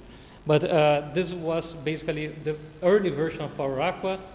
Now uh, PowerAqua adds some more interesting features, which basically uh, it's a WordNet-based similarity. Also, it explores the structure of the ontology uh, classes, taxonomical structure, uh, to do the semantic matching. Also explores string similarity. So PowerAqua starts to uh, work uh, in the direction of a more, let's say, complex terminological matching between user vocabulary and the, the data vocabulary. So uh, initially, PowerAqua was not evaluated, uh, does, didn't have any uh, evaluation, uh, was just tested. But then in 2011, they did an evaluation of the, the system. So I believe most of you should be familiar with WordNet, but basically WordNet is a lexical database which contains, which was manually created, uh, and which a, a very good resource. But the point is that it's not complete. So if you're thinking about using WordNet for addressing all the vocabulary problems, or to do all the semantic matching, you have a very limited solution. So this is one example of a WordNet, uh, let's say, item. And yeah, and uh, this is uh, the similarity matching algorithm or the lines of the algorithm uh, for PowerAqua. So basically, these are the conditions uh, which are based on, on WordNet, basically, and uh, on the ontology as well. I believe here they are not listing the ontology part, they're just listing the, the WordNet part. So yeah, I'm not going to go through the uh, architecture of PowerAqua, but basically what you need to know is that they have a pre-processing approach, they have a semantic matching approach, uh, yeah, and and they have a search component. So, and their semantic matching is very heavily based uh, on an algorithm over WordNet, and some information available on the taxonomy uh, of the ontology. So uh, there is uh, another system called ORAKEL, which developed by Philipp Cimiano in 2007. And the key features of this system is the, the presence uh, of a, component which they called FrameMapper. And what FrameMapper does is it has a visual interface for people doing lexicon engineering. So it's a way to do the manual adaptation, and the lexical engineering in the end will give uh, let's say, the semantic flexibility uh, for, for, for the system. So it doesn't use uh, WordNet as far as I, yeah. And also it uses, as a parsing strategy, logical description grammar. So it's an approach which it's a kind of hybrid approach between uh, a syntactic analysis approach and a semantic representation approach. Uh, yeah, but the main feature of the system is the presence of FrameMapper. So you can imagine that a system like this will have uh, a huge adaptation effort. So usually this is feasible for very small data, very simple databases, but if you move to the web scale, this doesn't scale. Uh, but, but they developed a nice interface for that. Yeah, they did some evaluation, which was domain specific. So when they didn't reevaluate this. So basically, yeah, that's the, the core components of that. So you usually see the same components over and over again, but the main difference that is the FrameMapper uh, interface, which allows the uh, ontology engineering. And that's the FrameMapper interface. Basically here, you can visually uh, edit uh, some triples. So the resolution is not good, but it's just saying that uh, an author is someone which has a publication, a publication has a title. So basically, you are editing these relationships uh, visually, and this allows, uh, let's say, normal non-experts to add knowledge that will be used uh, as a semantic matching approach. So in 2010, uh, uh, Danica Damljanovic uh, released Freya, and uh, Freya has uh, a, a, more interactive uh, way for users to, to, to interact in the question answering system. So it's more introduced an approach which is based on dialogue, right? So every time, at every point uh, on the semantic matching, and for the semantic matching, she used WordNet and Cyc. I'm not sure about how she uses Cyc. It was not clear from, from the on the publications, and also string similarity approaches uh, to cope with some uh, vocabulary variations. And it uses the user feedback as well to do that. So every time that the system, for example, finds some ambiguity, uh, for example, uh, what's the population of New York? New York can be a state or can be a city. So uh, it has this element that say, okay, did you mean this or that? Uh, and, this is the main signature uh, of her system. And for evaluation, uh, she did an evaluation on the Mooney data set, which is a very, let's say, more simple data set. And she did, redid the evaluation for questions over linked data system. And yeah, basically, that's the component uh, of the system. Very uh, simple architecture, but more focus on the uh, on the dialogue component, where you have the ambiguity and then you have the user disambiguating that. And I, I believe that uh, they extended uh, in another paper this to allow users to uh, enrich uh, the lexicon uh, of, of the system. Okay, there are other interesting QA approaches, more recent for linked data, but I, I'm not going to go over them. So that's usually uh, the face of a QA system. The, the, you have the same components, uh, yeah, and some systems will explore other uh, features. Uh, so I'm going to now uh, describe a more detailed case study, which is based on the system that we did at DERI, which is called Treo, but the Irish pronunciation is Troll, uh, which means direction. Direction.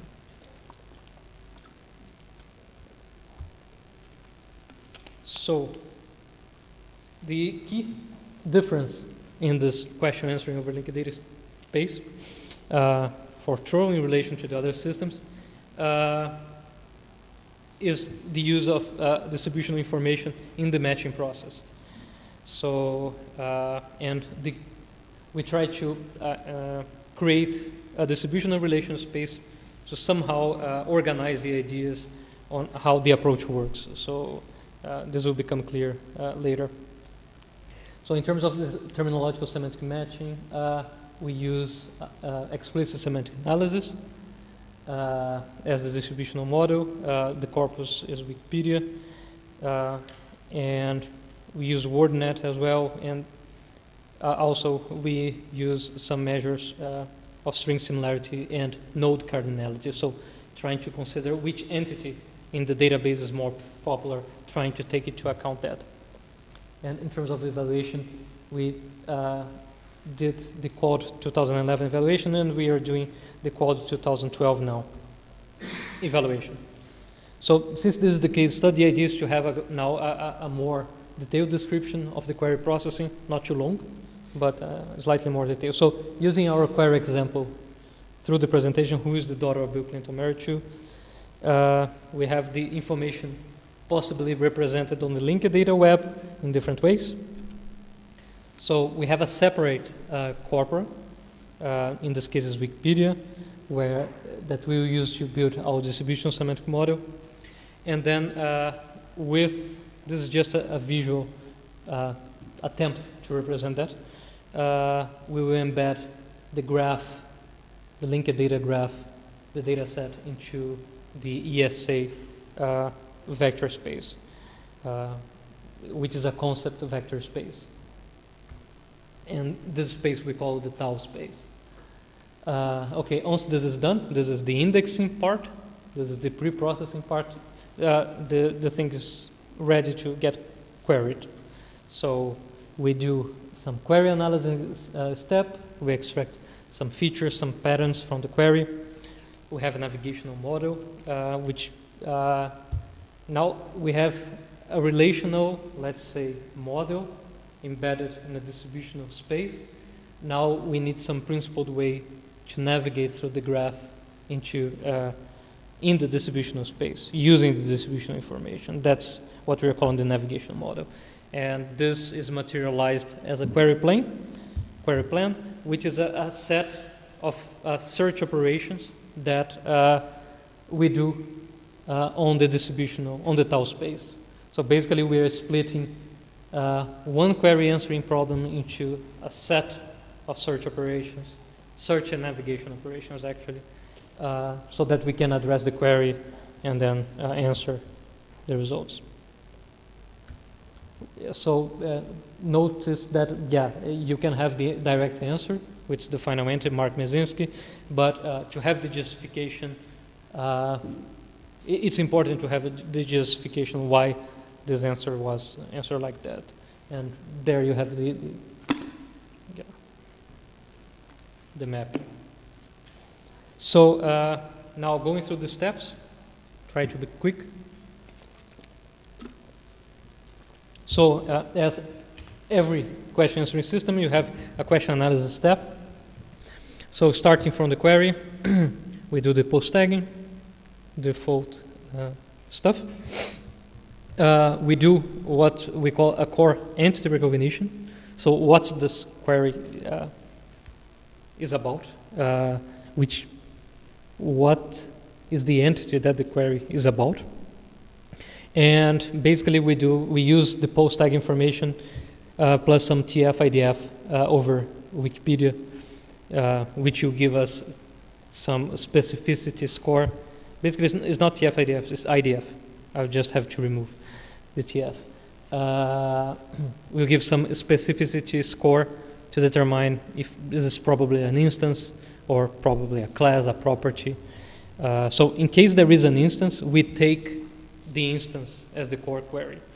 Uh, daughter and married to are properties in this database. And the good, the important part about taking the instance is that you take the less ambiguous. Uh, there is less probability of having ambiguity in a named entity, like Bill Clinton. You may have someone with the same name, but i it's easier uh, to disambiguate. So somehow you reduce your search space by finding this pivot entity. Uh, then uh, we determine, we do the default stuff, answer type, answer is most likely a person. Uh, we do the dependency parsing, uh, which somehow uh, I consider an, option, uh, an optional step for the approach. I believe we can replicate that just with the POS tagger, which is good to, to transport to other languages, but I didn't do that. So still, I use the dependency parsing. And once we have the dependency structure for the query, we uh, build what's called the partial ordered dependency structure, pods. So every QA system will try to build a SPARQL-like, a triple-like representation uh, for the query. Uh, and to do that, basically we use uh, the dependencies, the POS tags, uh, and we do uh, a rule-based uh, merging and simplification of the query. Remove stop words, uh, reorder the query based on the position of the uh, pivot instance. So we take this as the first entry point into the data set. Again, just uh, taking the most specific parts first, and then we reorder obeying the topological constraints of the dependency structure. After we do that, we classify into probable uh, classes, so uh, instance types. So if it is an instance uh, predicate, so we have the set of query features, which are going to be used to uh, determine the probable query plan. So the first query plan, the first attack plan for answering the query. So uh, basically, uh, as I already mentioned, query features are used to generate a query plan, and a query plan is a sequence of search operations over the tau space, uh, search and navigation operations. So basically, this uh, instance predicate predicate feature set with the query generates uh, this query plan, this set of steps that we are going to go visually through them. So the first element uh, is instance search for that query plan, which here is described more generically as entity search. And the idea of entity search is to search for individual entry points into the dataset. So we have a query which has multiple elements, but you need to find an attack point, right? And we are trying to always to make the more specific attack points first. Uh, the entity uh, search strategy tries to, uh, if it's an instance, it's a simpler, so there is no distributional uh, based search on that. This is a keyword search uh, with some string matching uh, variations plus uh, the node cardinality on that. So basically, uh, we have an inverted index with all the with all the entities, so instances, classes, and, and predicates into the data set. We generate a, a, separate inverted index for that. And yeah, we just execute uh, as a keyword search. So Bill Clinton there is our keyword search string. And then we have a, a ranked list of URIs. So we found our array into the data set, which is uh, visually represented this way. So on the top you have the query, on the bottom you have the first entity resolved. So then, uh, in case there is ambiguity, so in this case there is no ambiguity, let me just simulate that there is ambiguity. So suppose there is a, a Bill Clinton which is an actor. Uh, we use uh, ESA, so uh, to compute the semantic relatedness between the entity types, so and uh,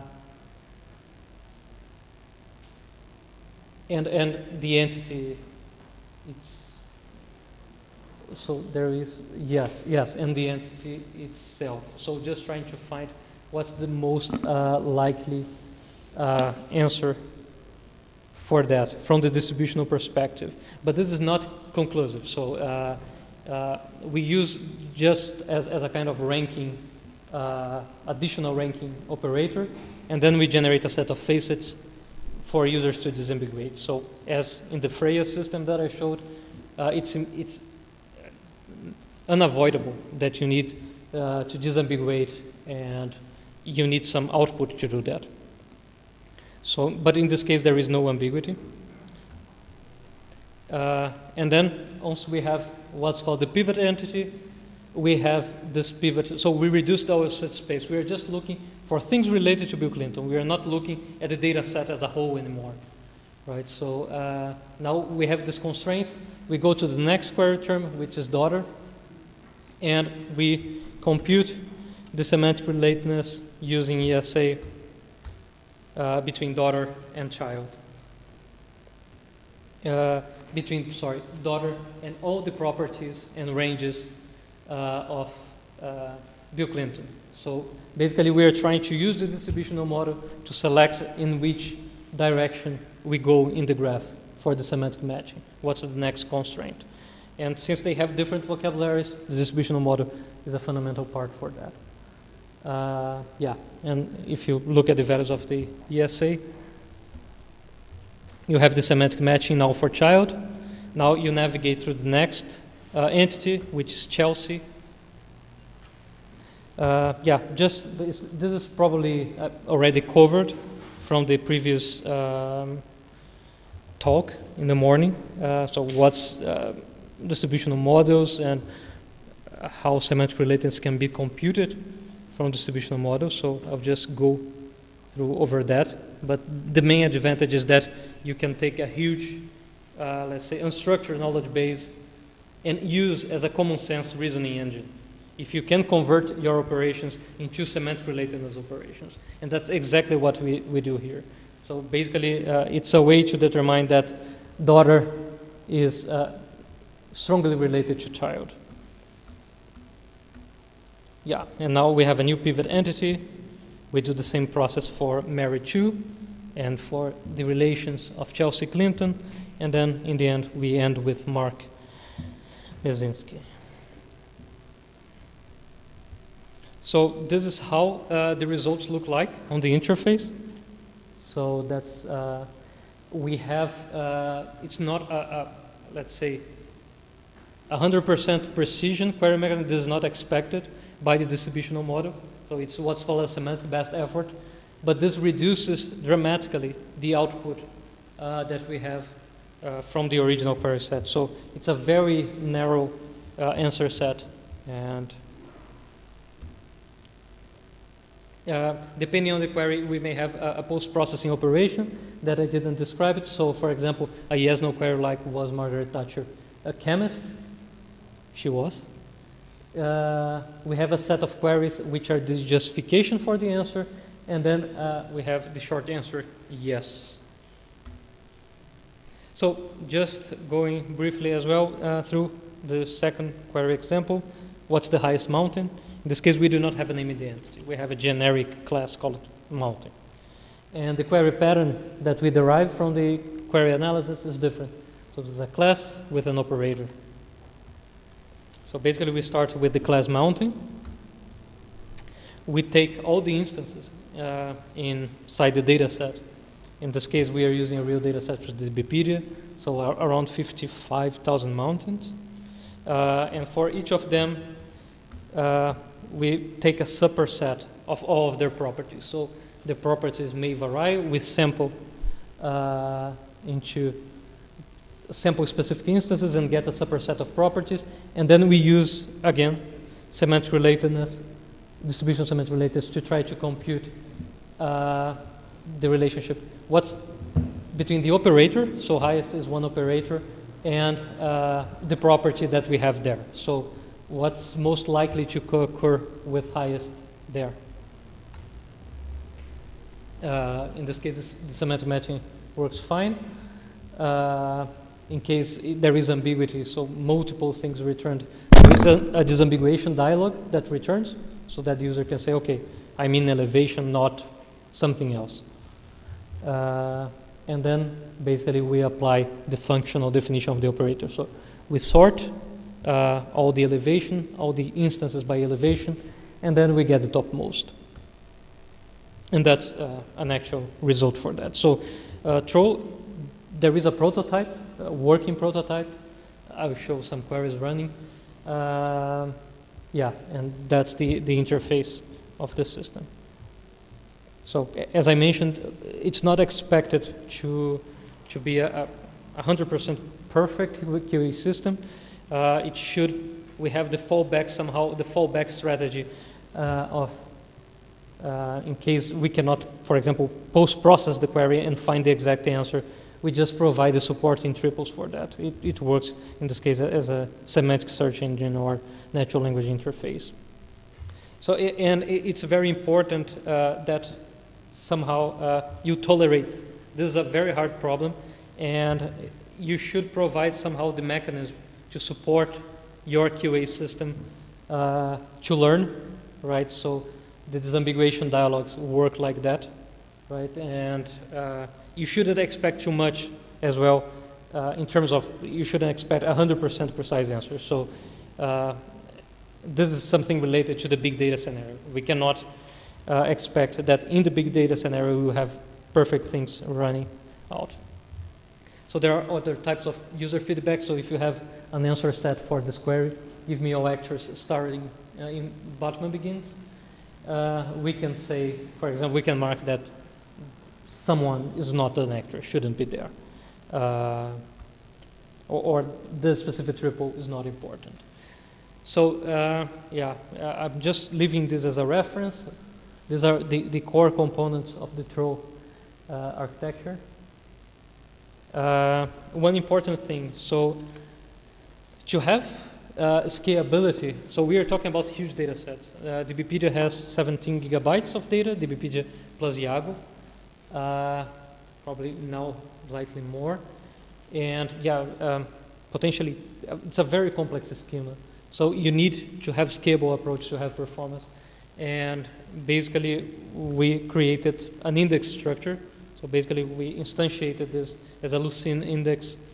Uh, we instantiated the tau space, that distributional model part, uh, as a Lucene index, so that uh, you can have uh, an index that doesn't grow dramatically in terms of size or in uh, doesn't grow in terms of query performance uh, time. So I'm just leaving here as a reference in case you want to take a careful look. The slides will be available. So yeah, somehow uh, uh, the core uh, characteristics of Troll, it's a hybrid model. It uses elements from databases, information retrieval, and question answering. So information retrieval somehow is a, is a fallback from that. It gives ranked query results. So in case we cannot go to a direct answer, it will provide us the triples that are supporting the database. Uh, and it has uh, a distributional vector space model for uh, representing the data, the relational data. So uh, it's a very similar motivation to the, the core, uh, Trevor Cohen uh, predication space. Uh, but basically, we are not uh, trying to define a distributional model in the sense that usually people build the distributional model. So we are trying to decouple a little bit more so that we can have a navigation, a set of nav- navigation operators on this relational space. So we, we are calling this uh, the style space we also call a distributional relational network so that you can have somehow the distributional model align it uh, to, the, to the relational network. And distribution of semantic relatedness is a primitive operation for the, the query matching. So just showing the thing running, simple queries before we have the stop.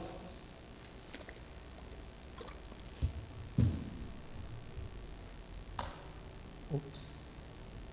Just, I wanted to stop, but. Uh,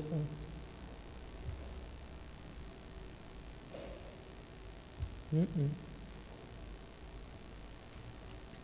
So you have some queries with uh, examples of query from vocabulary gap, so tall to height. Founded formation year.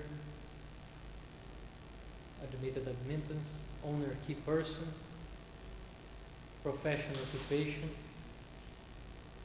dialects approximated to language, right author, but with some noisy data as well, and the Margaret Thatcher query.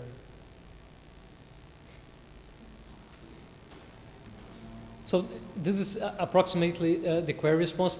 It's a little bit accelerated for some reasoning, for, for some reason, but uh, yeah, but not too much. So uh, it, it works quite, I mean, in terms of performance, it works okay. So more complex query, so which have operations, so give me all cities in New Jersey with more than something habitant, inhabitants. You have the justification below and the short answer there. And what's the highest mountain? This, this query takes a while, which, because you need basically to, to go through all the mountains. Just sample, yeah, query space. I believe I, I have no bar to accelerate here. It's good to, that you have a, a realistic picture of, the thing.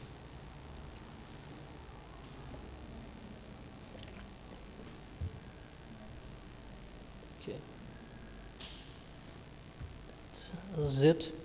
So one uh, operation also that's important that comes, let's say, freely with this is the ability to search the vocabulary, such vocabulary. So in linked data, it's very important to reuse existing vocabularies and search which concepts are already there.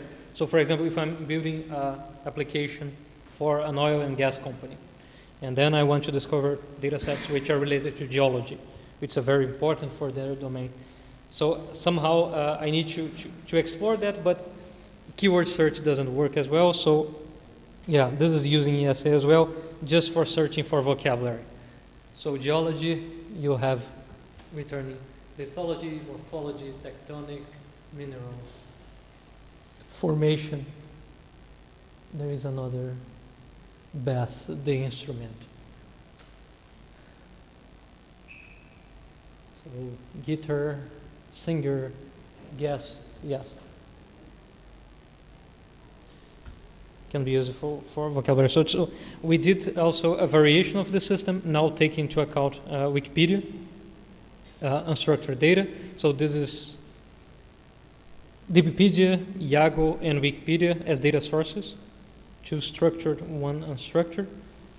So we are taking queries, questions from the Jeopardy challenge, which are that long. Some speculate there's blah blah blah.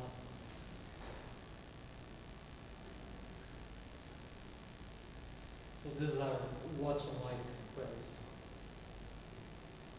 And yeah, the prices should reflect the difficulty. It's not always the case uh, for, from the information retrieval perspective.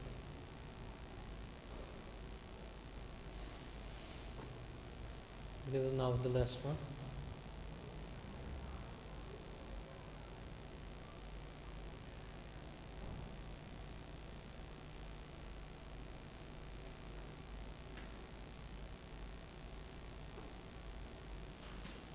Uh, yeah, now is the last one. The most difficult. Most. For him, was at least. So usually this, this is the face of uh, Jeopardy queries. So you have a description and then it returns a, an instance. So it's not difficult to, to address that. But uh, yeah.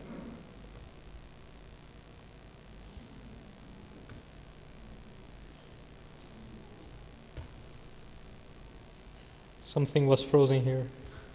So, but I was planning to stop anyway. so for the last part. So what time, Pierpaolo? Is it? Now it's five. Okay. So we should finish at what time? Half five. Perfect. So yeah, if we could have a five minute break, but before, if you have any questions. Mhm. First of all, this was quite impressive. I think everything is uh, thinking the same thing. But um, the first part of the system, the one that do, does the, the, the analyze of, um, the analysis of, of the question and also the um, uh, construct the plan. I don't know if I'm using the right words, but the plan for the query. Um, I think that they are um, uh, more uh, mostly rule-based systems, and so. I cannot. Uh, um, can you give us some more insights on how does these rules works? For example, there are rules based based on uh, just the words appearing, or uh, the other the other uh, the outputs of the other analysis done previously, or something like that. So, uh, from, from the linked data perspective, if you think about question answering in general, you get the impression that things are extremely complicated and uh, uh, so the facility on having actually serializing the concept of vectors, I believe this is not uh, a, justification for that. Uh, yeah, probably it was easy for us compared to other methods with the resources that we had to process Wikipedia, let's say volume of data that we need to have a more comprehensive approach. Uh, it gave good results from the start for the type of queries that we, we were evaluating the system. But I, consider this, I do not consider this as a final solution.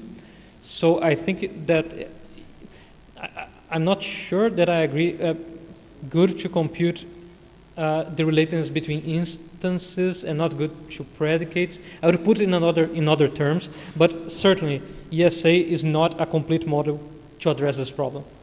Uh, so and we do not see that.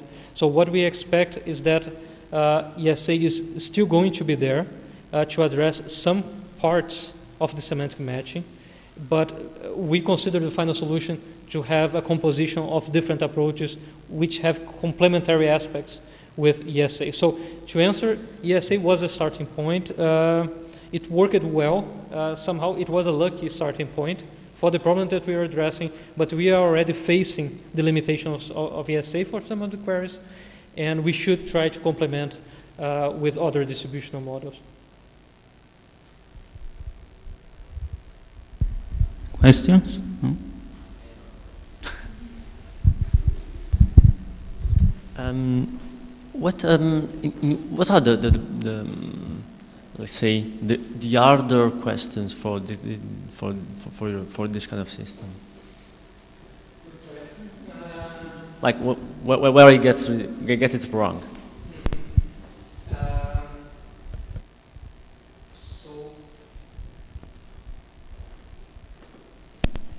The, the harder question, the short answer is the harder questions are the questions which we have um, the probability of more variations in the data representation. So usually if you want to express uh, a very constrained, so you have a set which is presidents of the United States, right? This represents a class. And then you have presidents of the United States that lived between this and that. And maybe you can add, uh, let's say, Californian residents of it. So uh, when you add these constraints, you somehow uh, ex- expands a lot the possibility of the query plan because this can have combinations of, in terms of representation between classes, predicates with values, and this can be in one class as well. So uh, these are the harder questions. So um, somehow, sometimes, uh, a lot of the times we get right because the question is so specific that uh, somehow the specificity solves itself.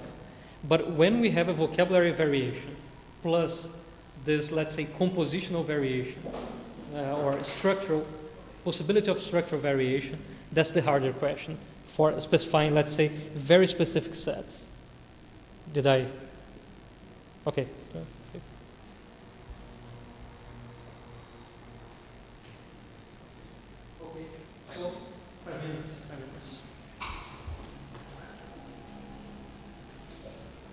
System.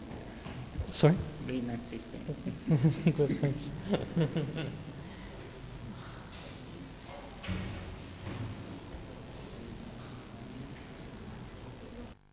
fanno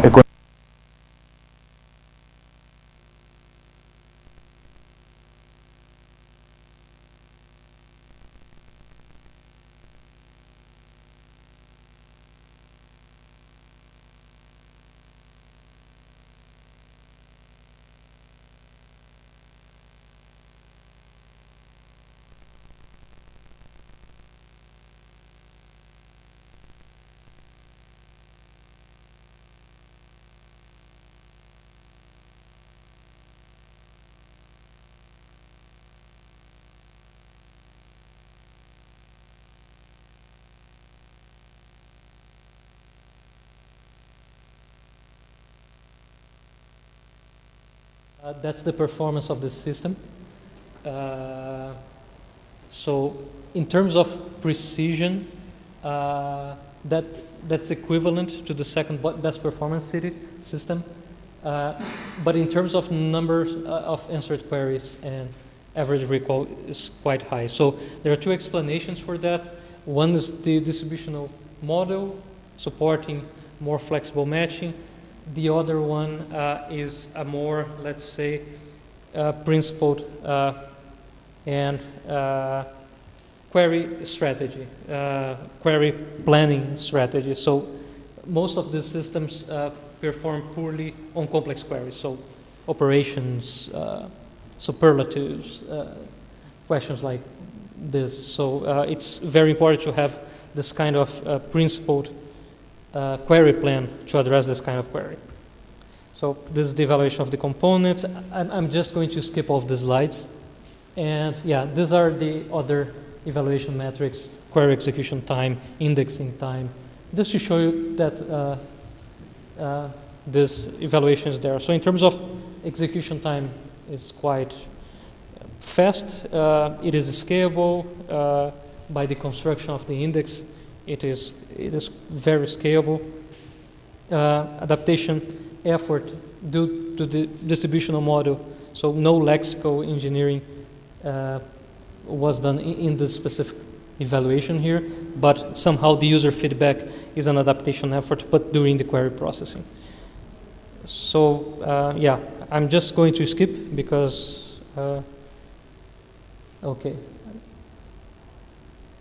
Okay, so uh, one thing that uh, I would like, just from, from my practical experience in building the system, uh, I think it's important to give some very concrete pointers. So in terms of resources, so uh, maybe it's obvious for most of you, but uh, yeah. So 95% of Jeopardy answers are, are, answerable by Wikipedia.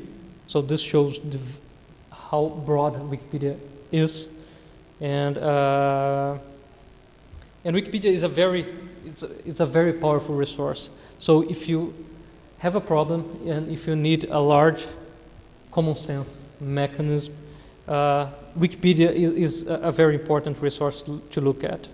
And uh, one of the good things about Wikipedia is that they have structured data uh, associated with that. So DBpedia uh, and YAGO are very, also very interesting uh, data sets if you want to use it as a knowledge base as well.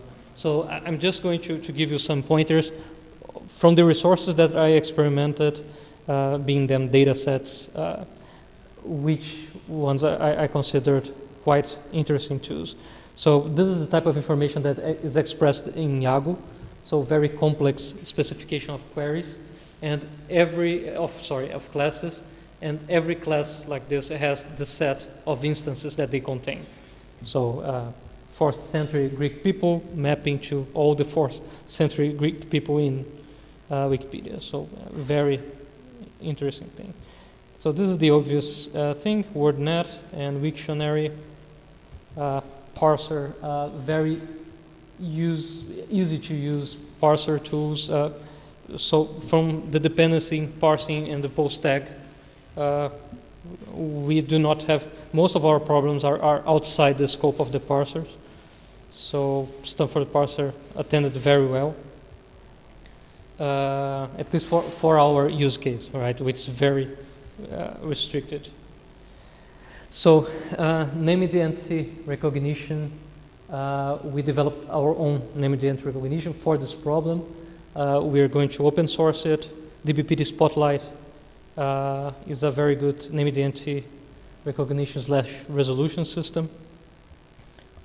Basically, we are going to generate an equivalent to, to, uh, to Spotlight because it's already there.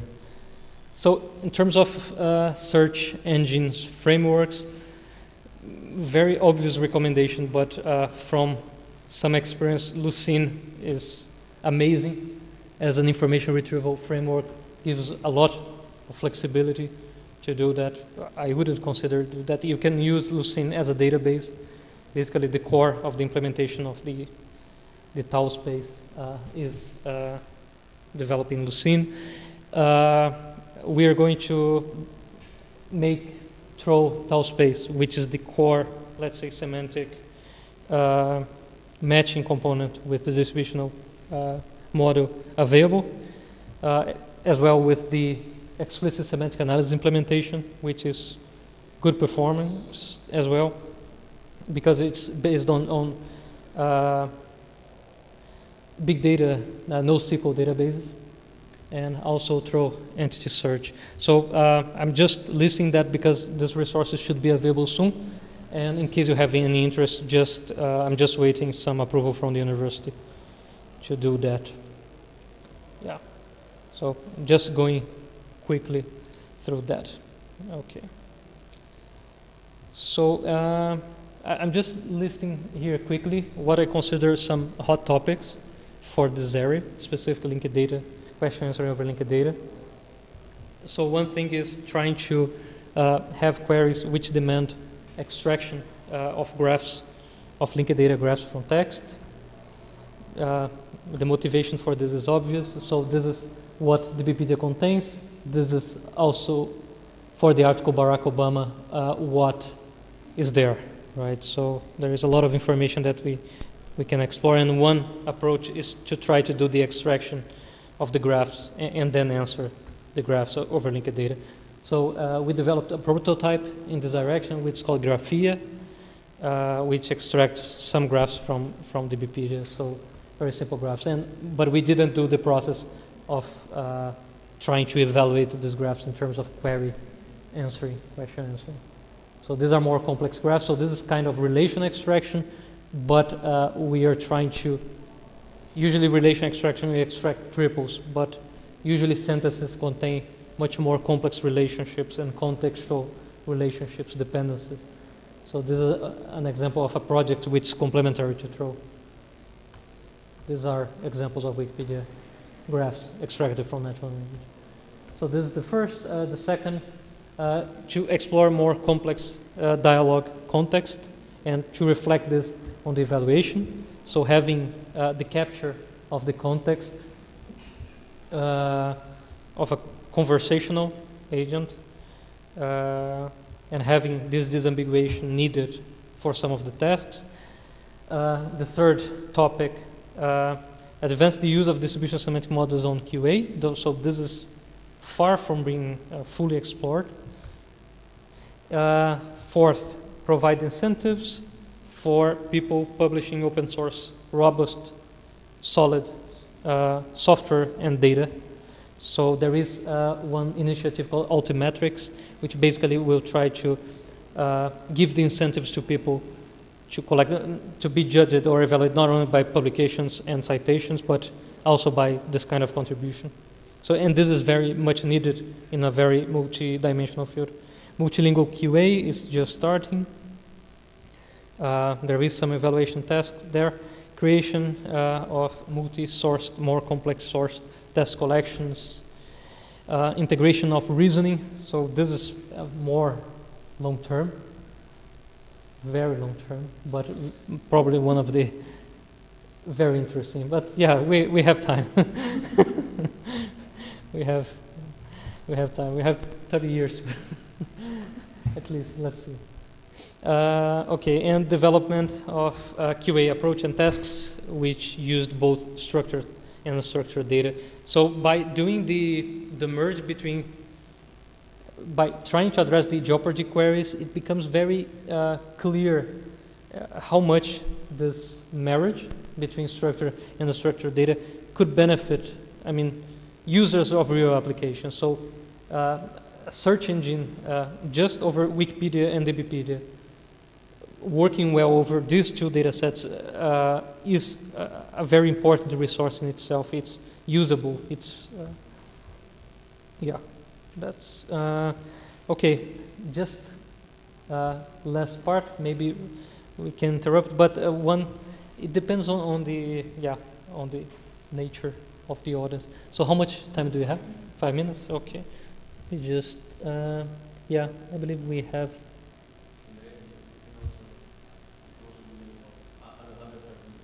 Okay, no, just to have more five minutes for questions, but yeah, but in five minutes, okay, we can finish that.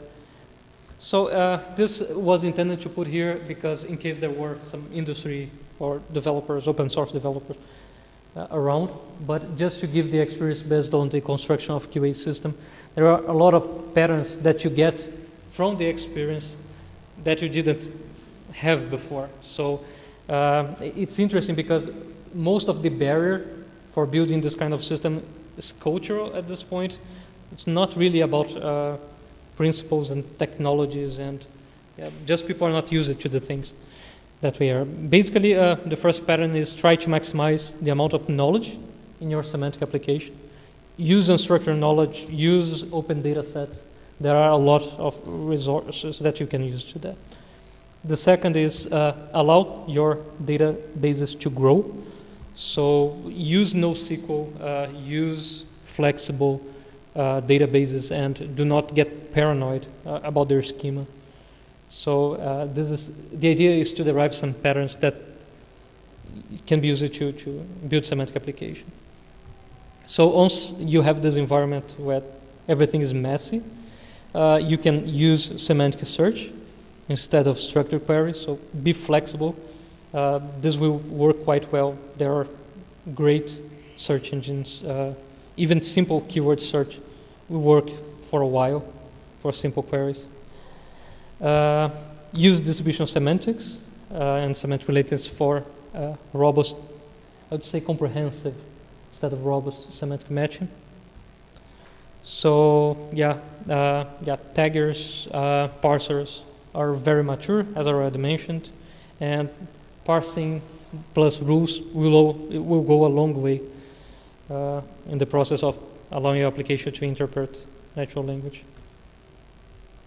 So uh, provide a user feedback mechanism, record this user feedback mechanism. Do not have unrealistic expectations on that. So this is the final slide, last. so, uh, okay, the, take, the takeaway message that uh, I want you to take, to go home and with these messages. Uh, first, uh, it's necessary to have new principled uh, semantic approach to cope with big data, and these approaches are not there. So the uh, database community, for example, is very far uh, for, from having this uh, addressed. There is a nice research opportunity here. Uh, information from, from an applied perspective, information systems will heavily be based on this kind of things that we are investigating.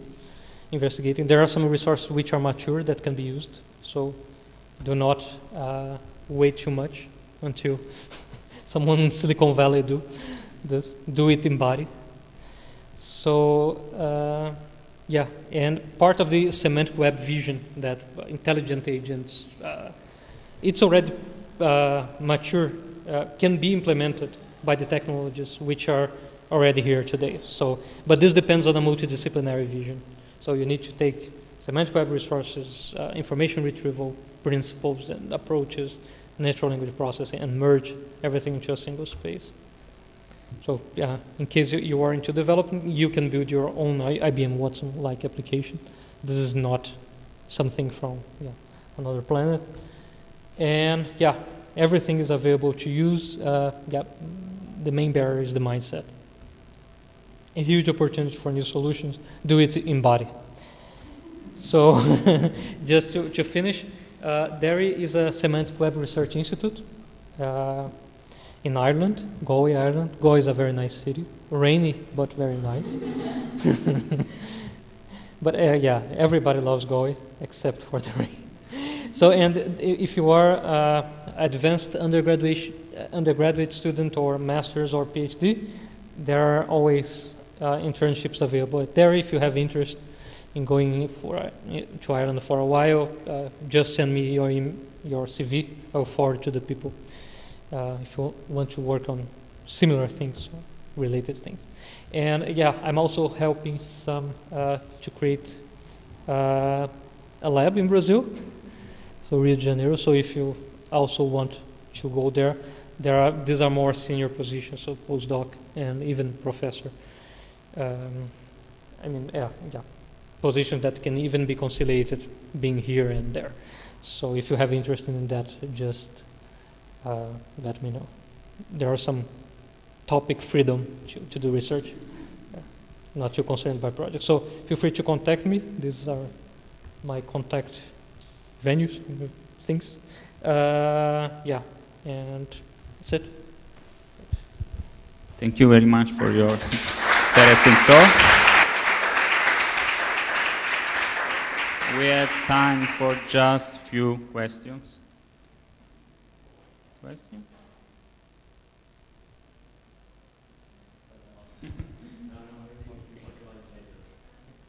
Thanks again, the speaker.